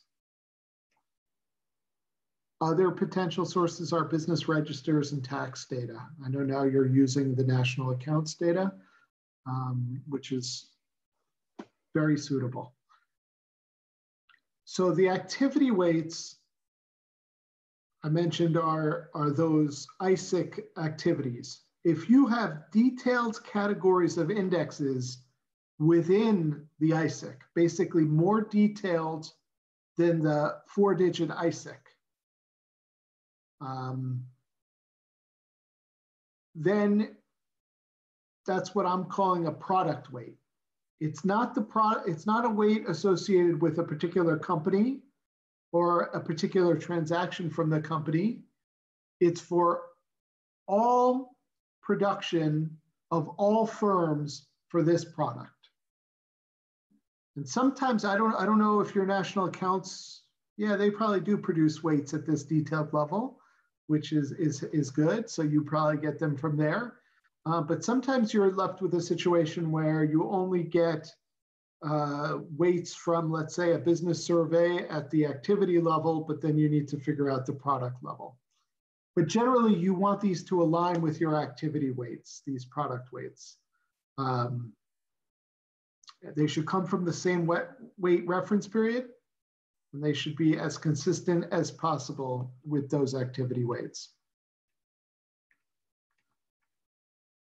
Um, I go through some examples here, which I, I think I'm going to kind of skip over in interest of time here, but um, um, there are, were many cases I could tell you about my experience with PPIs. Um, we got all of the activity weights from the economic census, which is done every five years in the United States. It's basically a big business survey. We call it a census, even though it's really a survey. Um, and then, but the detailed product weights were often not available from that source. So we had to get creative with looking for other sources that could tell us how much of the revenue of an activity was broken out into these different product groupings. And sometimes that came from regulatory agencies or from private sources. You know, sometimes trade groups would give certain information and we would try to use as much of that as possible in coming up with these product weights. Um, so like I said, the ideal case is you're getting this from a business survey or in your case, national accounts. If you have not only here the, the four digit actually these are product codes, but uh, ISIC here would be 6120 mobile telecommunications services. And then if you wanted to have detailed indexes for things like voice and text and data, you know, that would be your detailed product weight, more detailed than the four digit ISIC. Um, I have an example here that shows how you could use third-party data to get these weights if they're not available in your source. I think I'm going to skip over them and, and you have them here. If, if this is relevant for you, uh, you can look through this information and you could ask me questions about it um, offline. Um, but that's what those slides are describing, a case where you have activity weights from your primary source, but you don't have product weights.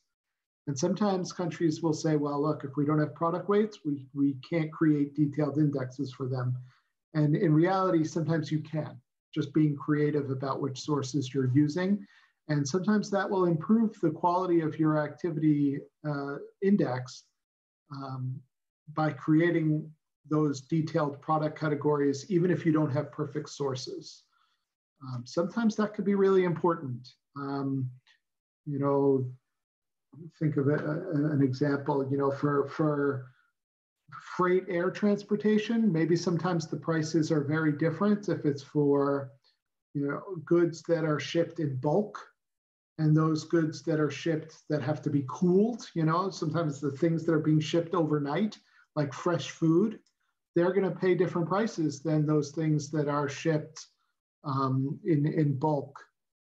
Uh, so if you're getting very different price trends between these different categories, creating separate indexes improves the quality of imputation, which we'll talk about on Thursday. Um, and often that could have a significant factor in improving the quality of the overall index by creating these detailed product indexes. Um, now, if you read things like the IMF PPI manual, if you are very bored and you'd like to read these kinds of very boring manuals, you will see a lot of discussion about Lowe indexes and Young indexes. Um, I found this very confusing myself as a compiler, um, but generally what this refers to is that you have a set of activity weights from a, a reference period. So in your case, your activity weights are coming from the 2010 national accounts. Now, you might go collect a telecommunications company and start introducing your telecommunications indexes in 2020. Okay, so you might want to update those weights from 2010 doing something we call price updating the weights. So we're not going to take take completely new weights until we, we reweight everything in the PPI. Generally, you do those, those reweights for all the activities all at one time.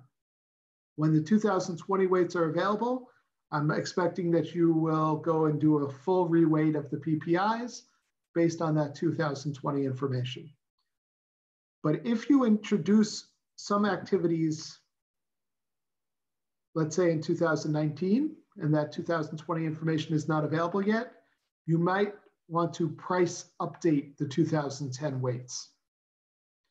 I'll, I'll explain this in, in a moment. Um, if you use price updated weights, we call that a Lowe index. If you use index without price updated weights, that's called the Young index. Both methods are acceptable. Okay. And it gets very tricky with um, index methodology to think about which one is might be might be better. I think in the old days they used to always recommend the Lowe, and then they came out with some studies that said, oh wait, maybe the Young is actually better. So now we say there's no recommendation. You could do either one. Um, I think if you're very interested in index theory, you my reading of the, of the literature says that the Lowe index may be more appropriate when prices and quantities produced move in the same direction. So, you know, there's some set of goods and services that they just are more popular in the market. So that means the quantities are, are going to go up, more people are going to buy them. And at the same time, the prices will go up, right? Um, Examples are, are things like technology services, right? Where they, they start out small um, and then, um, well, actually, let me take that back because some technology services happen when more is pro produced, the prices actually go down.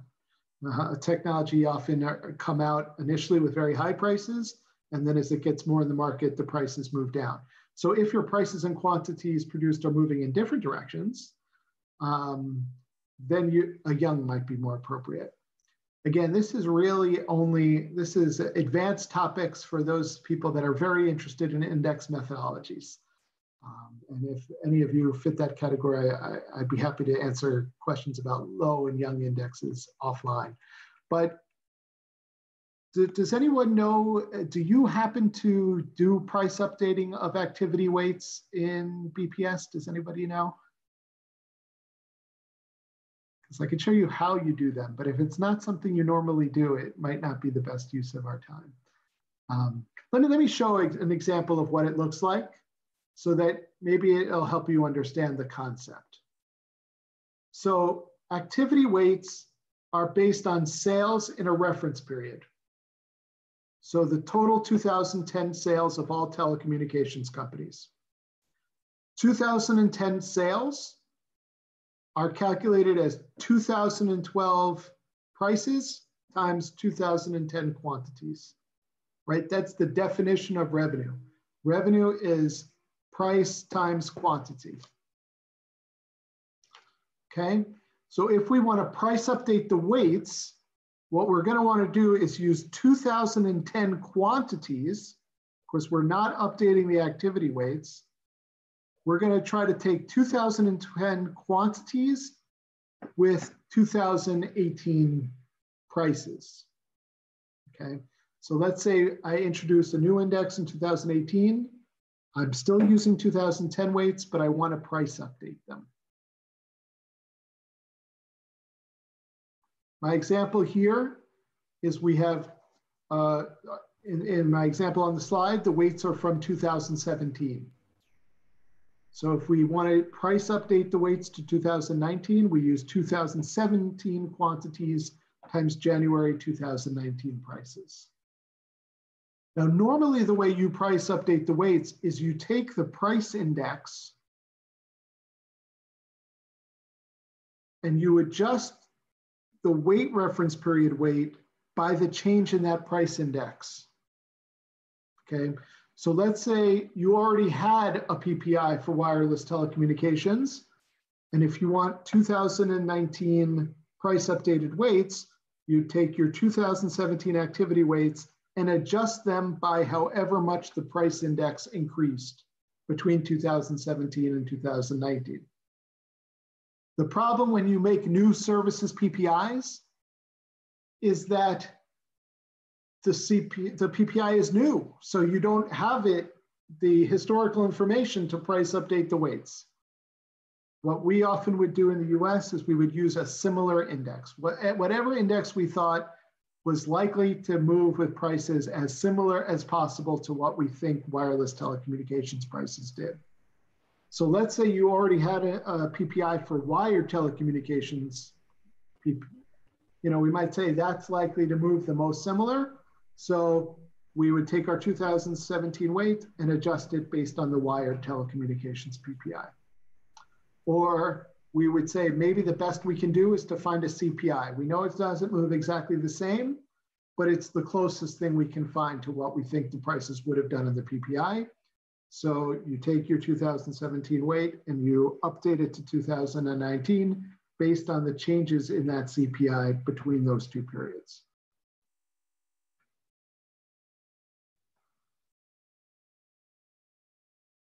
Okay, so that's, uh, again, if, if this is not something that's part of your normal work, you're not dealing with price updating activity weights, you probably don't need to worry about it.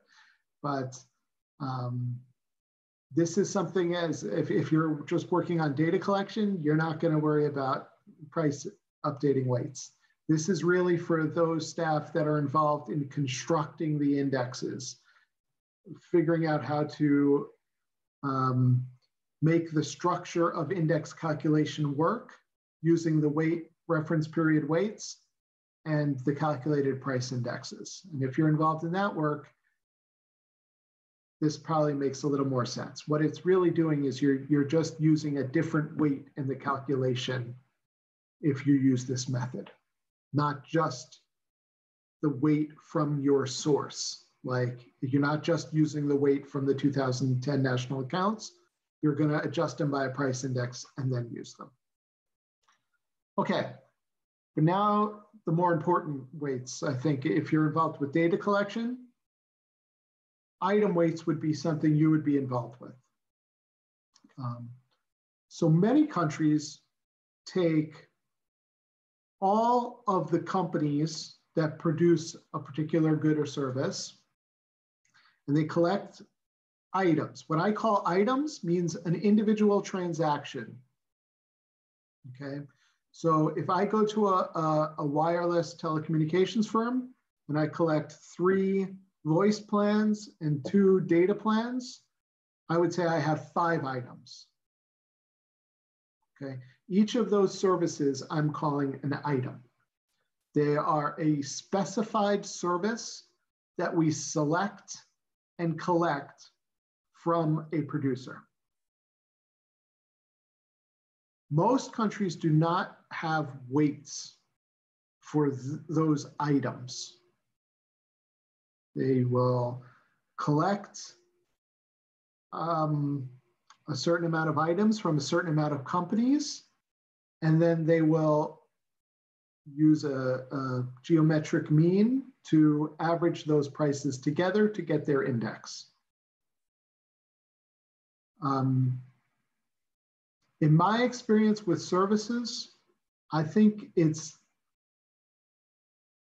it's not always possible to get item weights, but if you can, I think they are very helpful for improving the quality of the data. That is, is uh, an opinion I have, maybe even more than some of my colleagues. Um, um, I think you could greatly improve the quality of an SPPI by applying some weights to the items you collect. The ideal weight would be based on the sales of the company in the weight reference period or in a period after the weight reference period. um, so if you're collecting a company in 2020, you're probably not going to want to ask for their 2010 sales. That's ancient history at this point. But if you ask for their, their sales from the most recently completed year, I think that's a good source for item weights. And we know that some companies will not provide us with the sales. And for those, we can impute weights. Okay, but like I said, many countries don't do that. They don't collect item weights based on company sales. They instead just apply implicit weights by throwing all the items into an index together and uh, taking geometric means. When we get to data collection, I'm going to talk more about uh, how we can make item weights. Okay, let me move on now to sampling. Um, I think you guys uh, do, do a great job of using these uh, lists from these government agencies as your sampling frames. The important thing you need for a sampling frame is some kind of size measure. Ideally, that would be total sales for these companies. Um, if you can get that, if you can't, you want something that's as similar as possible to sales, something that is highly correlated with sales. So maybe if you can't get sales for a telecommunications company, maybe the, the best size measure that correlates with that would be number of accounts. But the key thing is you need some size measure in your sampling frame. Frequently what I see used when, when you can't get something that has sales for each company is that uh, employment is, is the fallback. Um, and that's often if you're using uh, tax sources, if, they, if you can't get the sales, you take the employment. Spend some time talking about sample units because again, this in my experience becomes very important with collecting services PPIs. There are three main types of sample units. The first type is called an enterprise. And I will use the definition from the uh, System of National Accounts. An enterprise is the view of an institutional unit as a producer of goods and services. The term enterprise may refer to a corporation, a quasi corporation, a nonprofit institution, or an unincorporated enterprise. And an institutional unit is an economic entity capable in its own right of owning assets, incurring liabilities, and engaging in economic activities and in transactions with other entities. So that's a, a little confusing, but hopefully as we define these other units, we can put that in perspective. The next group is called enterprise groups. An enterprise group is a set of enterprises that is controlled by a group head. The group head is a parent legal unit, which is not controlled directly or indirectly by any other legal unit. So if you have a conglomerate, a big business that owns that owns subsidiary businesses that operate in many different ISIC activities, the head of the conglomerate is the enterprise group level. Okay, so um, I have an example here that will show you what that might look like. But for now, the enterprise group is the highest level. The, the, in the hierarchy, it's the top of the hierarchy. And those are not appropriate as sample units.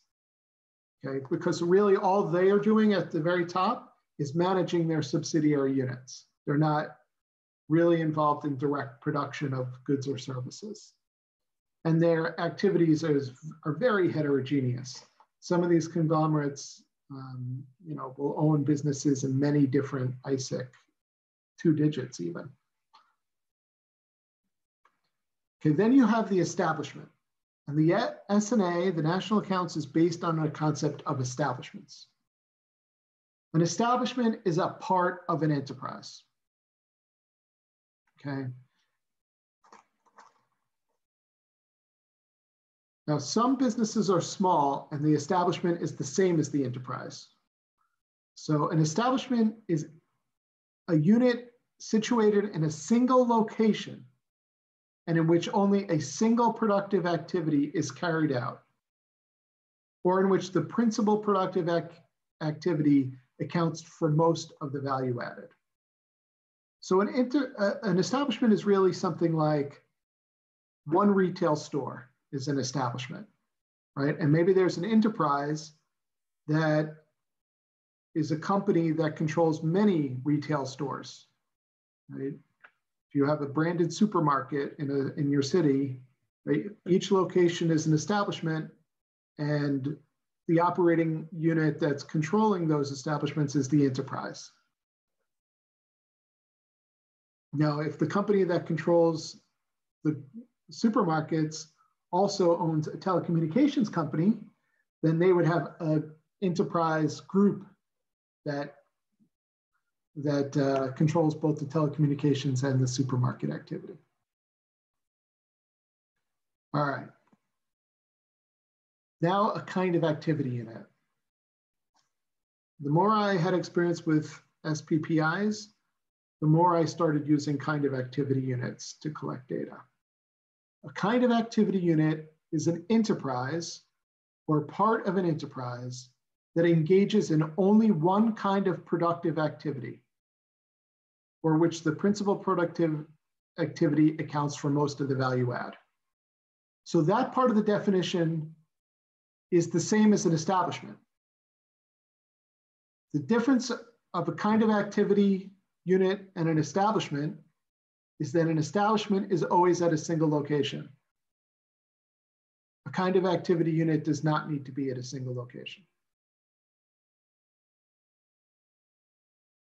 Okay, so if you want to look at a company, let's say you have a company that does wired telecommunications and wireless telecommunications. Those are two separate four digit ISICs. If you want to look at all the parts of that company that do wireless telecommunications and make that your sample unit, that's a kind of activity unit. Because you're not defining it based on a single location, and you're also not defining it as the whole company. You're defining a portion of the business, not based on anything physical, not based on a certain set of locations, but based on a concept. I want to know about the parts of this business that offer this service.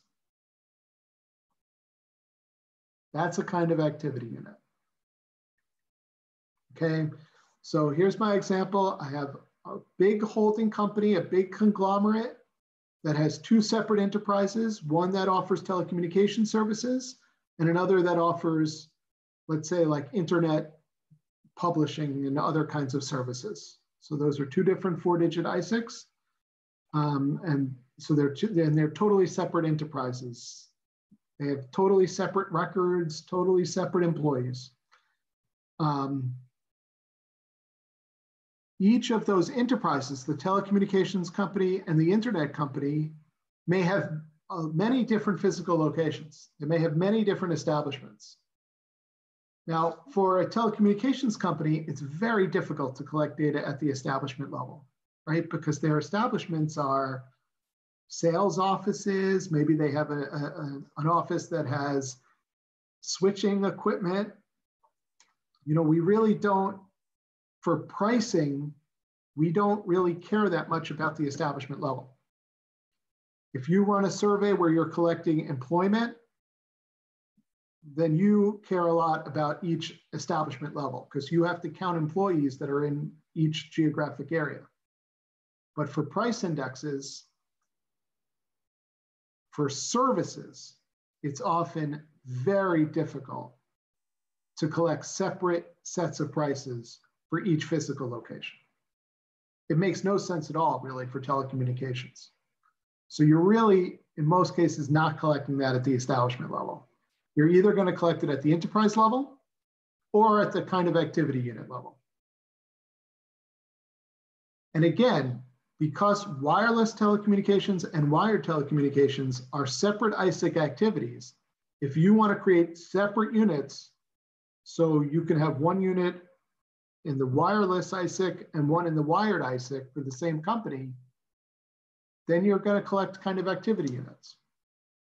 If you were to say, no, I don't do kind of activity units, I'm going to just collect the enterprise, and you have a company that sells 50% wireless telecom and 50% wired telecom, you would have to figure out which of those services is 50.1% of revenue and assign the whole company to that activity. So you might have a company that basically sells half wireless and half wired, but you'd have to put the whole company in wireless telecommunications, let's say, and then you'd have a lot of what we call secondary production. Okay, that's hard. That's hard to do. Um, for those of you who have experience with data collection, it's um, it's often difficult to it also makes your indexes weird. You know, frankly, if you want to make a separate index for freight air transportation and passenger air transportation, and you classify your biggest airline, let's say they, they are 70% passenger and 30% freight. Now, when you have a freight trans, air transportation uh, PPI, it would not include your largest company because if you classified at the enterprise level, all of that activity would go to passenger air. Okay, it's only if you make kind of activity units that you can say, okay, for the big airline, I'll take 70% of their sales and I'll make a sample unit for passenger, and then I'll take 30% of their sales and make a sample unit for freight know that's a bit tricky, but when we're really thinking about putting together all the pieces of coming up with a sample, coming up with weights for the different businesses, and calculating indexes based on ISIC, these issues are important, you know, because they really make a, a big difference in what comes out in the final index. So I know we're running out of time here, so I want to uh, quickly run through some advantages of each of these types of sample units. Establishments, An advantage of using establishments is that it's typically consistent with industrial PPIs. So you have a clear boundaries between the units, right? So if, if industrial PPIs are classified based on establishments, and you decide, and but, but you have a company that does some manufacturing and some services, if you use an establishment, you can pick up every piece of that company and the different activities. But if you say, I'm going to collect the whole enterprise in the services activity, while the industrial PPI collects establishments, you might have overlap. So that's a challenge. So an advantage of an establishment is that you don't have overlap. Another important advantage, if you're just collecting for a, small, a particular location, that's not going to be as much response burden per unit, right? So think about um, a supermarket. If you're just going to each supermarket individually, you only need to collect a certain number of items, right? And you can represent everything they sell in the supermarket. But if you're trying to collect all the supermarkets in Jakarta for a chain, you're going to need to know about a lot more items, right? Because it's just representing a lot more economic activity. So more items, more response burden per unit. A disadvantage of establishments is you have a larger number of units to collect, which makes data collection more expensive. You have more units that uh, data collectors need to visit. A very important disadvantage here is many service companies are not able to report the activity and product sales needed for explicit weighting by location. Okay, so let's say we want to collect the revenue for the telecommunications company to make item weights. A telecommunications company cannot tell you how much revenue comes from a particular switching station or from a particular sales office. They're just not aligned that way. And I'm finding this more and more often with more and more service providers. You know, uh, even for professional services, you know, a lot of law firms, now, now a lot of people are working from home. So how can they say where the sales for that lawyer, what physical location they get assigned to? It's, it's often not clear. So this is a particular challenge with services. For manufacturing, the establishment is a very logical place because you're dealing with a factory that produces a certain number of goods. But for services, establishments are much more difficult. Okay, and then the flip side of the establishment is the enterprise, where you know many of the disadvantages of the establishment become advantages for the enterprise. So when, if you go at the enterprise level, you have a smaller number of units to collect, which makes it cheaper. Um, and often I'm finding nowadays that, that businesses, when you go visit locations, they say, talk to my boss at headquarters, you know? So they'll, they'll direct the data collector back to the headquarters, even if you want to collect at the establishment level.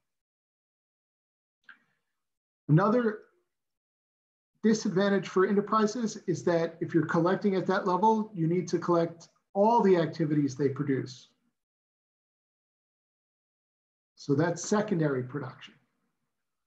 Okay, so if we go to collect an airline at the enterprise level, we have to collect passenger air and freight air at the same time because the unit is the entire enterprise. And the kind of activity unit, the reason why I think it's an attractive option in many uh, services activities is that it's a kind of middle ground. And it also gives you more control. You say, these are the activities that I want to collect. And a big advantage of kind of activity units is that you don't have to collect any secondary production. You're fielding a survey on freight transportation. All you need to collect is freight transportation. If the company happens to do some other activities, you exclude it, you don't have to worry about it. So that makes it easier to train your data collectors. You just tell them about whatever activity it is you want to cover. Okay, um, I have some examples here, which maybe I'll, I'll start off with tomorrow. Um, we'll, we'll pick up this point about sample units. Uh, we'll carry over a little bit into uh, tomorrow. But I do want to take some time if anybody has any questions. I know some of you, I'm sure, are going to want to go do your uh, your normal jobs, which I'm sure you all have work to do as well. But I'm happy to stay on if there are any questions. Um, and tomorrow I'll start back up again with sampling. Silakan Bapak Ibu yang ada pertanyaan bisa ditanyakan.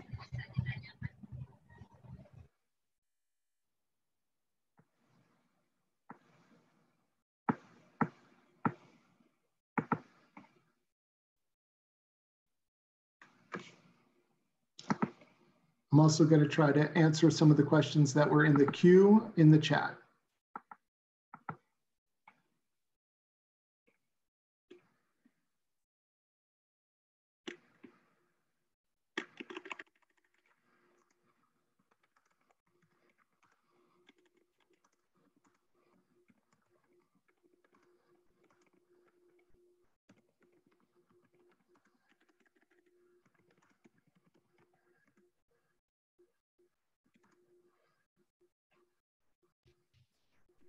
A question in the column, chat column.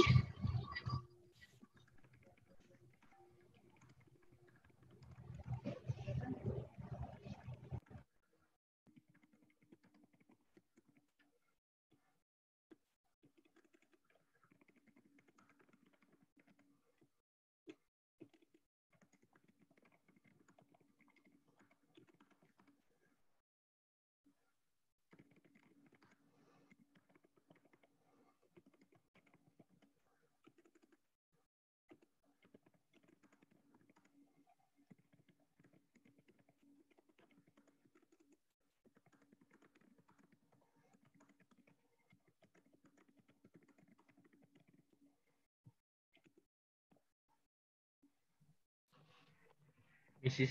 Esther.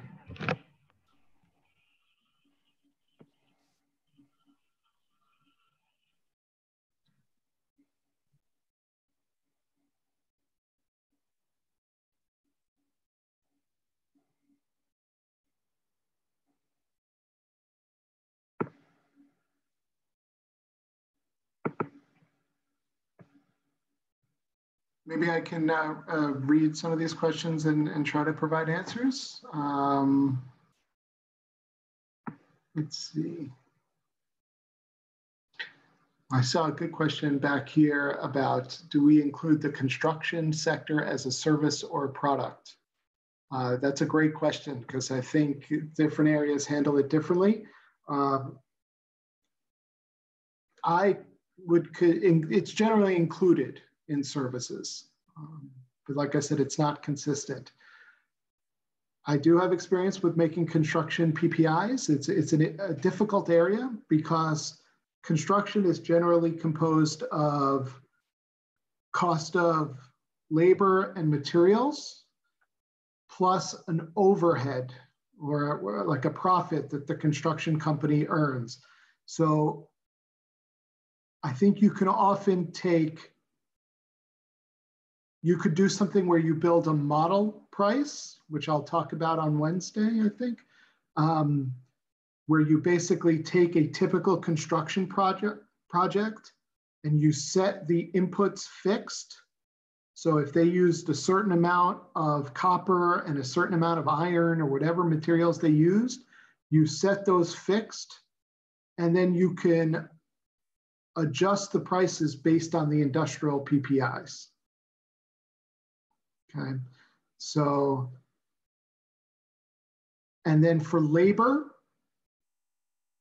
also a big part of construction, I would take the labor, I would set it fixed from the initial contract, and then I would escalate the labor based on another index that was wages for construction workers, if, if you have it, and I think you probably would. So basically I made it to the only thing I needed to collect from the construction company was their profit and overhead. And that was not easy because they don't like talking about that. Um, and so we would try to do anything we could to get the companies to estimate it for us. And again, the biggest thing we would need for the overhead is knowing if it ever changed.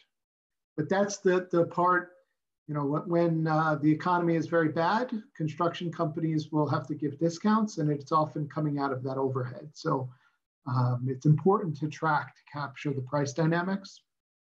But if there's particular interest in that, I know you guys are planning at looking at that in three, four years. Um, but I do have some materials I'd be happy to share on that um, and, and um, uh, give some examples of, of how we look at that. Because many countries, even that don't produce SPPIs, do try to make construction cost indexes and other things. So the construction cost index is easier than construction output because the piece that you need to get is that profit slash overhead. Um, sometimes you could also talk to um, people within the construction industry, not firms directly, but any other source that might be able to give insight on what's happening with those overheads. But that's the hard part. Everything else you could basically track with existing indexes. It's just that overhead piece you need from the producers or from someone who knows it. Um, I'm trying to go back and get these in order. Uh,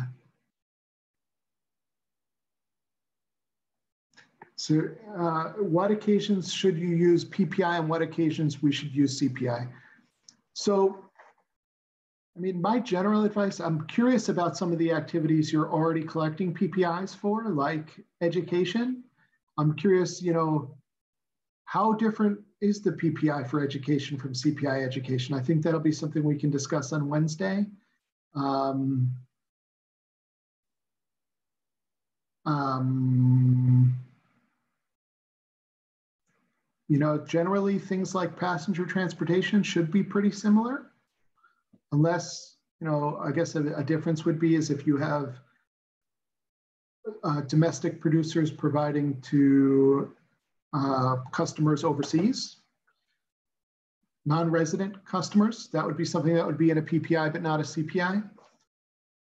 I mean, an example of a service that's primarily provided to households, but that is, it's still good to do a PPI for is hotels, because in certain countries, hotels are uh, a large proportion of sales are going to non-residents. So that's not captured in a CPI. So it would be the kind of thing covered in a PPI. But you know, I'm curious about the education and uh, passenger transport and food and beverage. You know, generally these are the things that are pretty similar between a CPI and a PPI.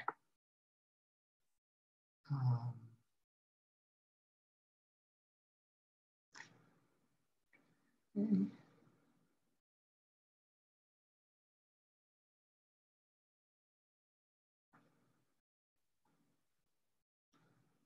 Other questions? What weight would be recommended for developing countries like Indonesia?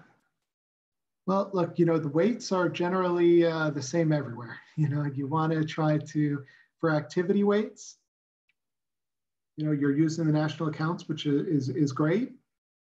I think the only improvement you can make is if you can see if there's some source that lets you update more frequently. Generally, we try to advise on every five years to update the weights. Um, you know, that's not always possible, but that's recommended practice. So if there is something like a, a you know, a general business survey or a, biz, a survey of service producers, that might be something you could use for weights. Um, but generally weights, weights they're the same for developing, uh, advanced countries. It's all generally all the same. Um, the European countries update their weights every year. The US does not do that. So, you know, if you can do it, that's great, but so it could also be a lot of work. It, it's a lot of work to do it the first time. Then afterwards, if you have your systems automated, it's just taking, you know, particular weights and just uploading them, overriding them in the system. But weight updates can take a lot of time. How does the US do data collection? Does the IT facility make it easier? You mentioned that the survey is still voluntary. Yes. Huh, the, the voluntary is what makes data collection hard because you got to convince businesses to give you data. Um, in the US, data collectors go to visit the companies in the PPI in what we call the initiation visit. So the first time they are selected to participate in the PPI, an individual data collector goes to visit them, ideally in person, and they select the products that we will collect. And then every month after that, the data collection happens online. But the, the first visit still happens in person with a data collector. But then once the products are selected, in the future months, there's an online system where the business logs in and they could provide updated prices for those transactions. Still have some businesses who like to use phone and other things, but uh, by default, the, the option is online. Excuse me, sir. Yes. Uh, I want uh, that's my question, and also I want to ask whether the company or the the enterprise or the establishments afraid of tax to give the information about the price. Is that uh, one of the problem?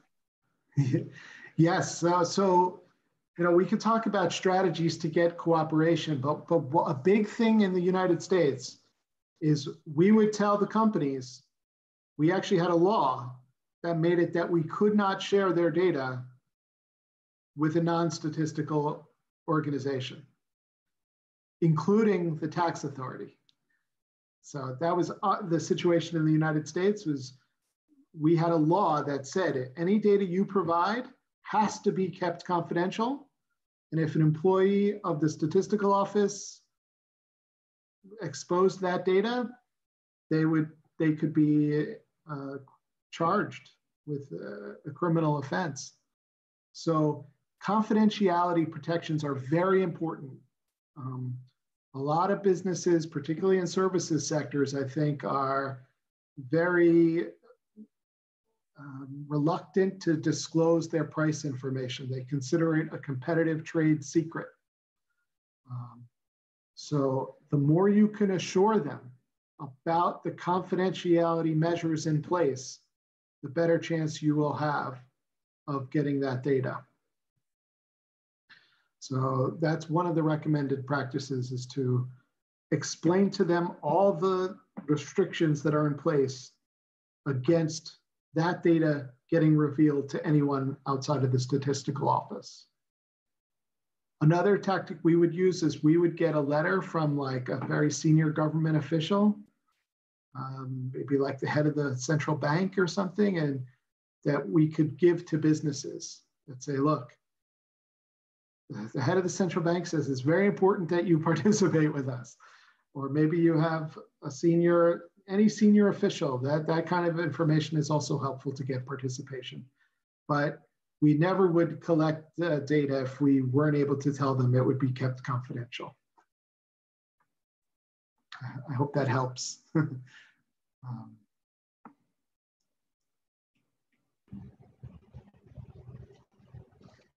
or maybe Andrew, uh, I will give a little uh, additional information. Uh, maybe in here, Indonesia, although we already have um, an initiation visited to the company before we uh, do a survey, uh, but uh, the company still didn't give us the data. It uh, although uh, also we have uh, law of statistics too, but uh, I think it, it doesn't work. So maybe so it, it is yeah so maybe it is our big homework uh, how to build the engagement uh, with the company so they yes. can give us the data. In my experience, for the biggest, most important companies, we really thought of it as a negotiation, something that we could, we, we had to be flexible, right? We would say, we want to normally collect this information, But if that's a problem for you, tell me what you can give me. you know, we, we couldn't demand. And so for the largest companies, we would often, um, you know, at the end of my career in the in the U.S. Uh, prices, I was the in charge of all services prices. And if it was a very big important company, I would go with the data collector. And the reason why I would go is because I can make those negotiations. I could say, you know, I could see what they could give us, and I would try to work with it the best I could. You know, um, I also sometimes it's important even for for very senior uh, people if they can they might be able to help to get part, uh, participation from the big important companies. Um, but again, in my experience, it's really okay. Is the data confidential? And is it going to be easy for me to complete this survey? So sometimes we would have a, you know, a kind of complicated survey for everybody, but then for the big business, we'd say, tell me what you can do. we wouldn't, we wouldn't be as um, structured with them. We would be more open to learn about the reports they already have. One thing about big businesses is that they have very good systems internally for tracking their business activity. So they might have different kinds of data um, than small businesses. And so we might be able to use those good reports to get some kind of price. Again, we'll, we'll talk about unit value prices and other different types of prices later, um, but those strategies sometimes would work better with the bigger companies. And I can tell you there were very big companies in the US where we would say, this is the way we want to collect prices for this activity. And we would do it for all the companies except the biggest one because we couldn't get that kind of price for them. So we had to get a, something that was not perfect. Um, try to answer this question. A PPI is seen as a good pre-indicator of inflationary pressure. Am I right? Yes, that's true. Um, and what's the relationship between PPI and CPIs? So some people think, you know, in some cases, uh, PPI could be a leading indicator of CPI. I think that's probably true of certain activities, but not all, because as we've talked about, it really represents a different basket of transactions. Um, I think I tend to see that more in the uh, industrial area, where you could think of it as more of a chain that happens over time, right? Uh, um, someone produces a good, and they start having to charge higher prices. And then the next month, the retailer will charge higher prices to the customer. Um, in a lot of services, there's, there's not as much middleman. So things get, um, price trends happen quicker between the producer and the consumer, but it really varies um, by activity. I would think for, for most of the services that we would work with, um, things like freight transportation, you know, that's not really affecting a CPI. It's outside of the CPI. It's outside of the household basket. So um, the relationship is complex. Some people say they could use PPI to, to, to um, forecast CPI, but in practice, I think that doesn't always work very well. Um, so they're important. They're, they're different indicators with different purposes. In my experience, PPI is more used for deflating national accounts. You know, to get good GDP, national accountants want PPIs because it aligns with the production account concept. So um, that's something that's a special use of the PPI versus the CPI. And again, when I was trying to collect PPI data, you know, CPI, I think people understand, it's famous. You know, everyone knows about the CPI. No one knows about PPI in the public. No one, no one really cares that much about PPI. So we tell them, look, you might not know about PPI, but they need this to make GDP. okay, the central bank needs they want to know about PPI. Okay, so it's more for these other economic indicators, and that's why we would take a letter from the head of the central bank because it was a way to convince businesses. You know, we're not famous like CPI, but look how important we are to national accounts, and look how important we are for uh, people who make monetary and, and fiscal policy. Um, But and also it's it's almost easier when you produce price data, then businesses can use it. So you could tell businesses, you know, like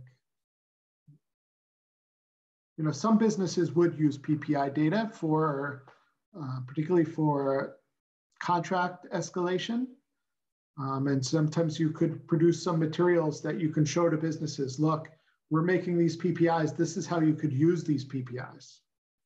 A lot of the motivation comes from this will be useful for you. You give us the data, it helps us make this data, and then you get this data back and it'll help you with your business. Um, if we use KAU as a sample unit, do we have to obtain the sampling frame of all enterprise activities first? That's a great question. Um, that's a big challenge. So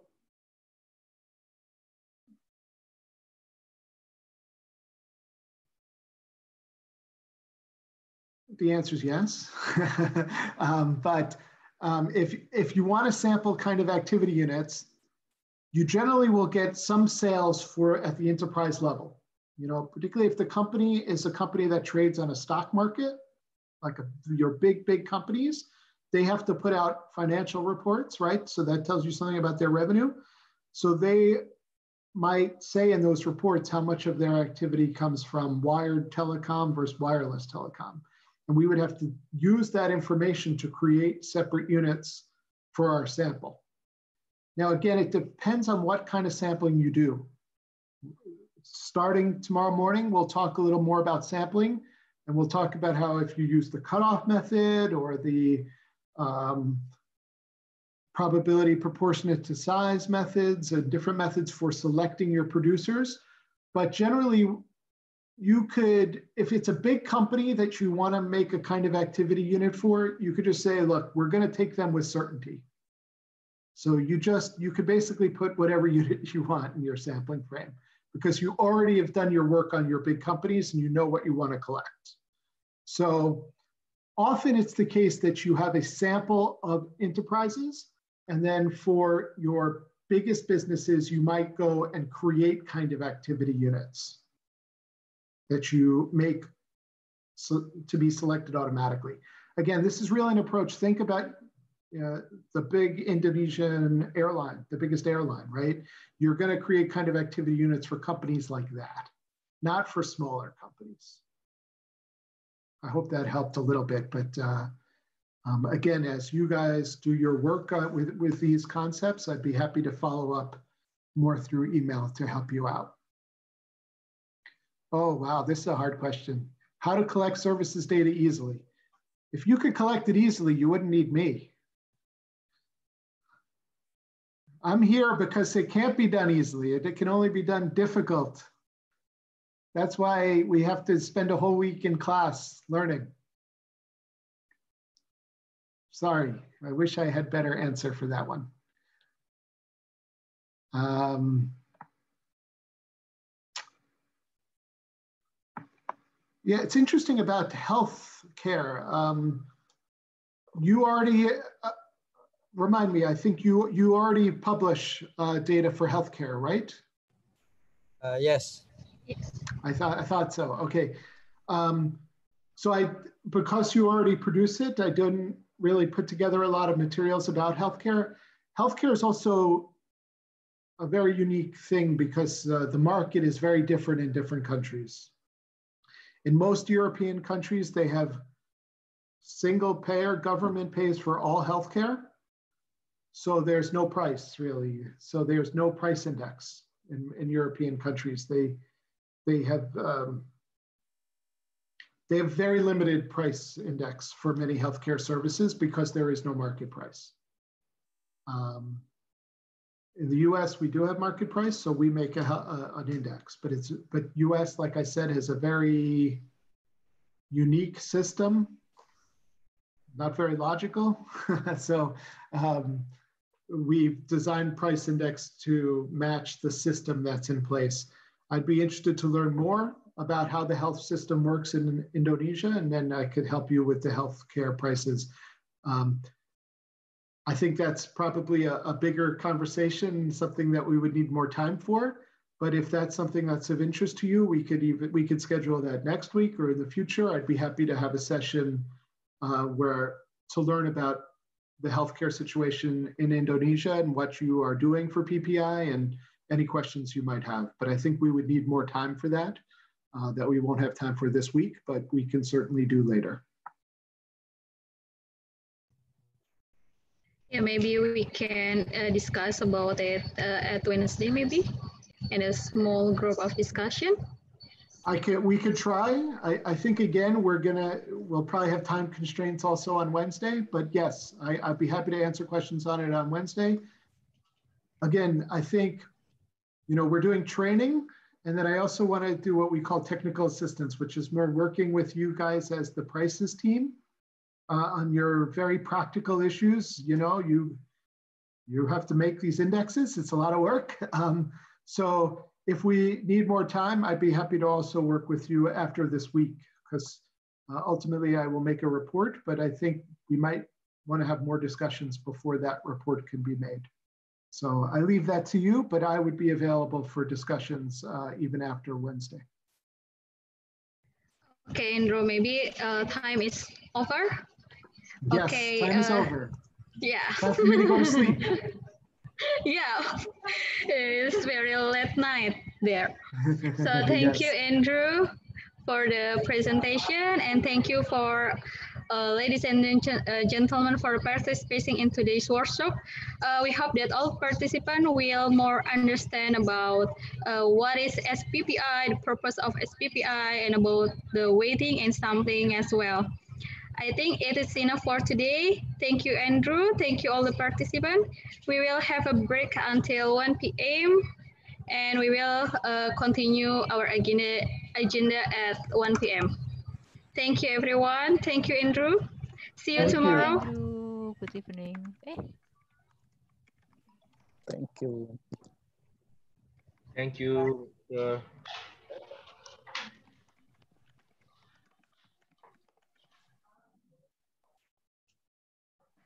Silakan Pak Cepi.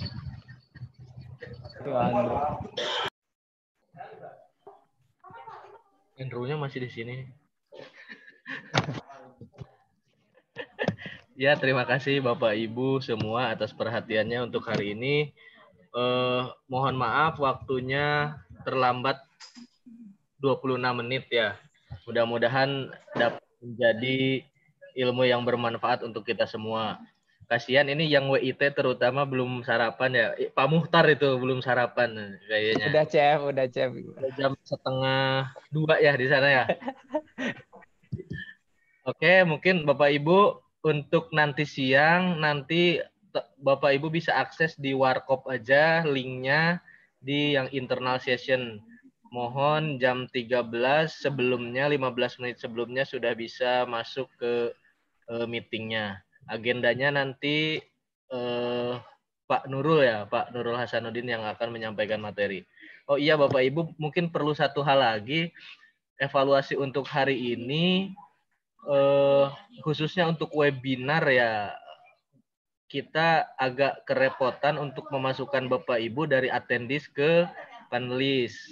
Ya, salah satunya dikarenakan Bapak Ibu sebelum mengklik link yang kami bagikan atau link yang di Warkop belum belum login di Zoom ya atau mungkin Bapak Ibu belum punya akun Zoom bisa jadi seperti itu.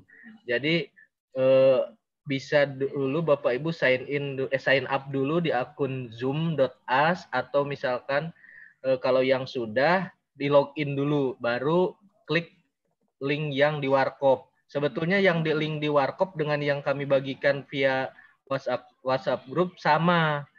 Cuma eh, seperti yang Mas Arbi sampaikan kemarin, jika Bapak Ibu mengklik yang di Warkop, otomatis nanti centangnya akan eh, tercentang sendiri sehingga bisa masuk ke step berikutnya. Linknya sama Bu, Bapak. Cuma itu poinnya satu itu aja. Sebelum klik link tersebut, baik yang di WhatsApp grup maupun yang di Warkop, harap Bapak Ibu login dulu ke Zoom-nya. Ya, kalau ada kesulitan nanti ditanyakan di WAG aja. Mudah-mudahan Bapak Ibu besok kita kendala tersebut bisa diminimalisir karena ya kesian juga saya satu di. Oke, mungkin terima kasih Bapak Ibu.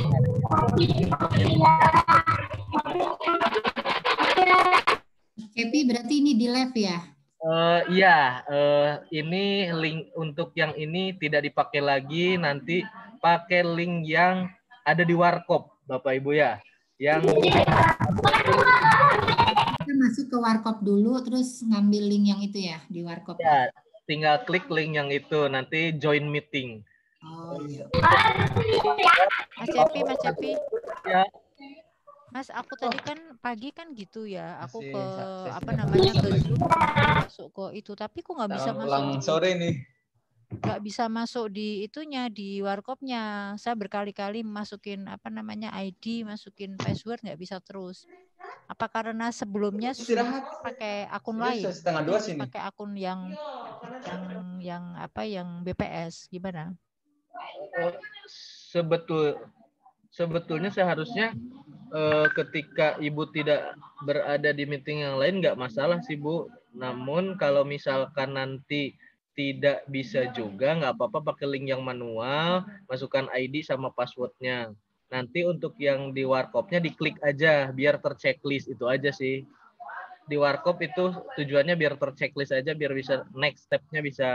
Eh Pak Muhtar kenapa buka baju itu Pak Muhtar? Pornografi itu.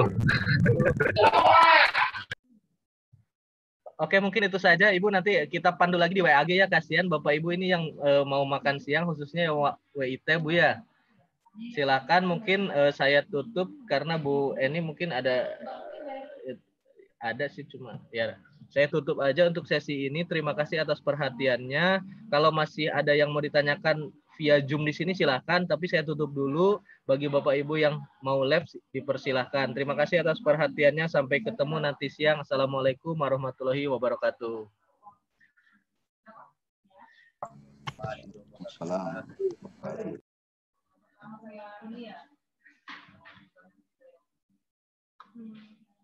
Oke, terima kasih.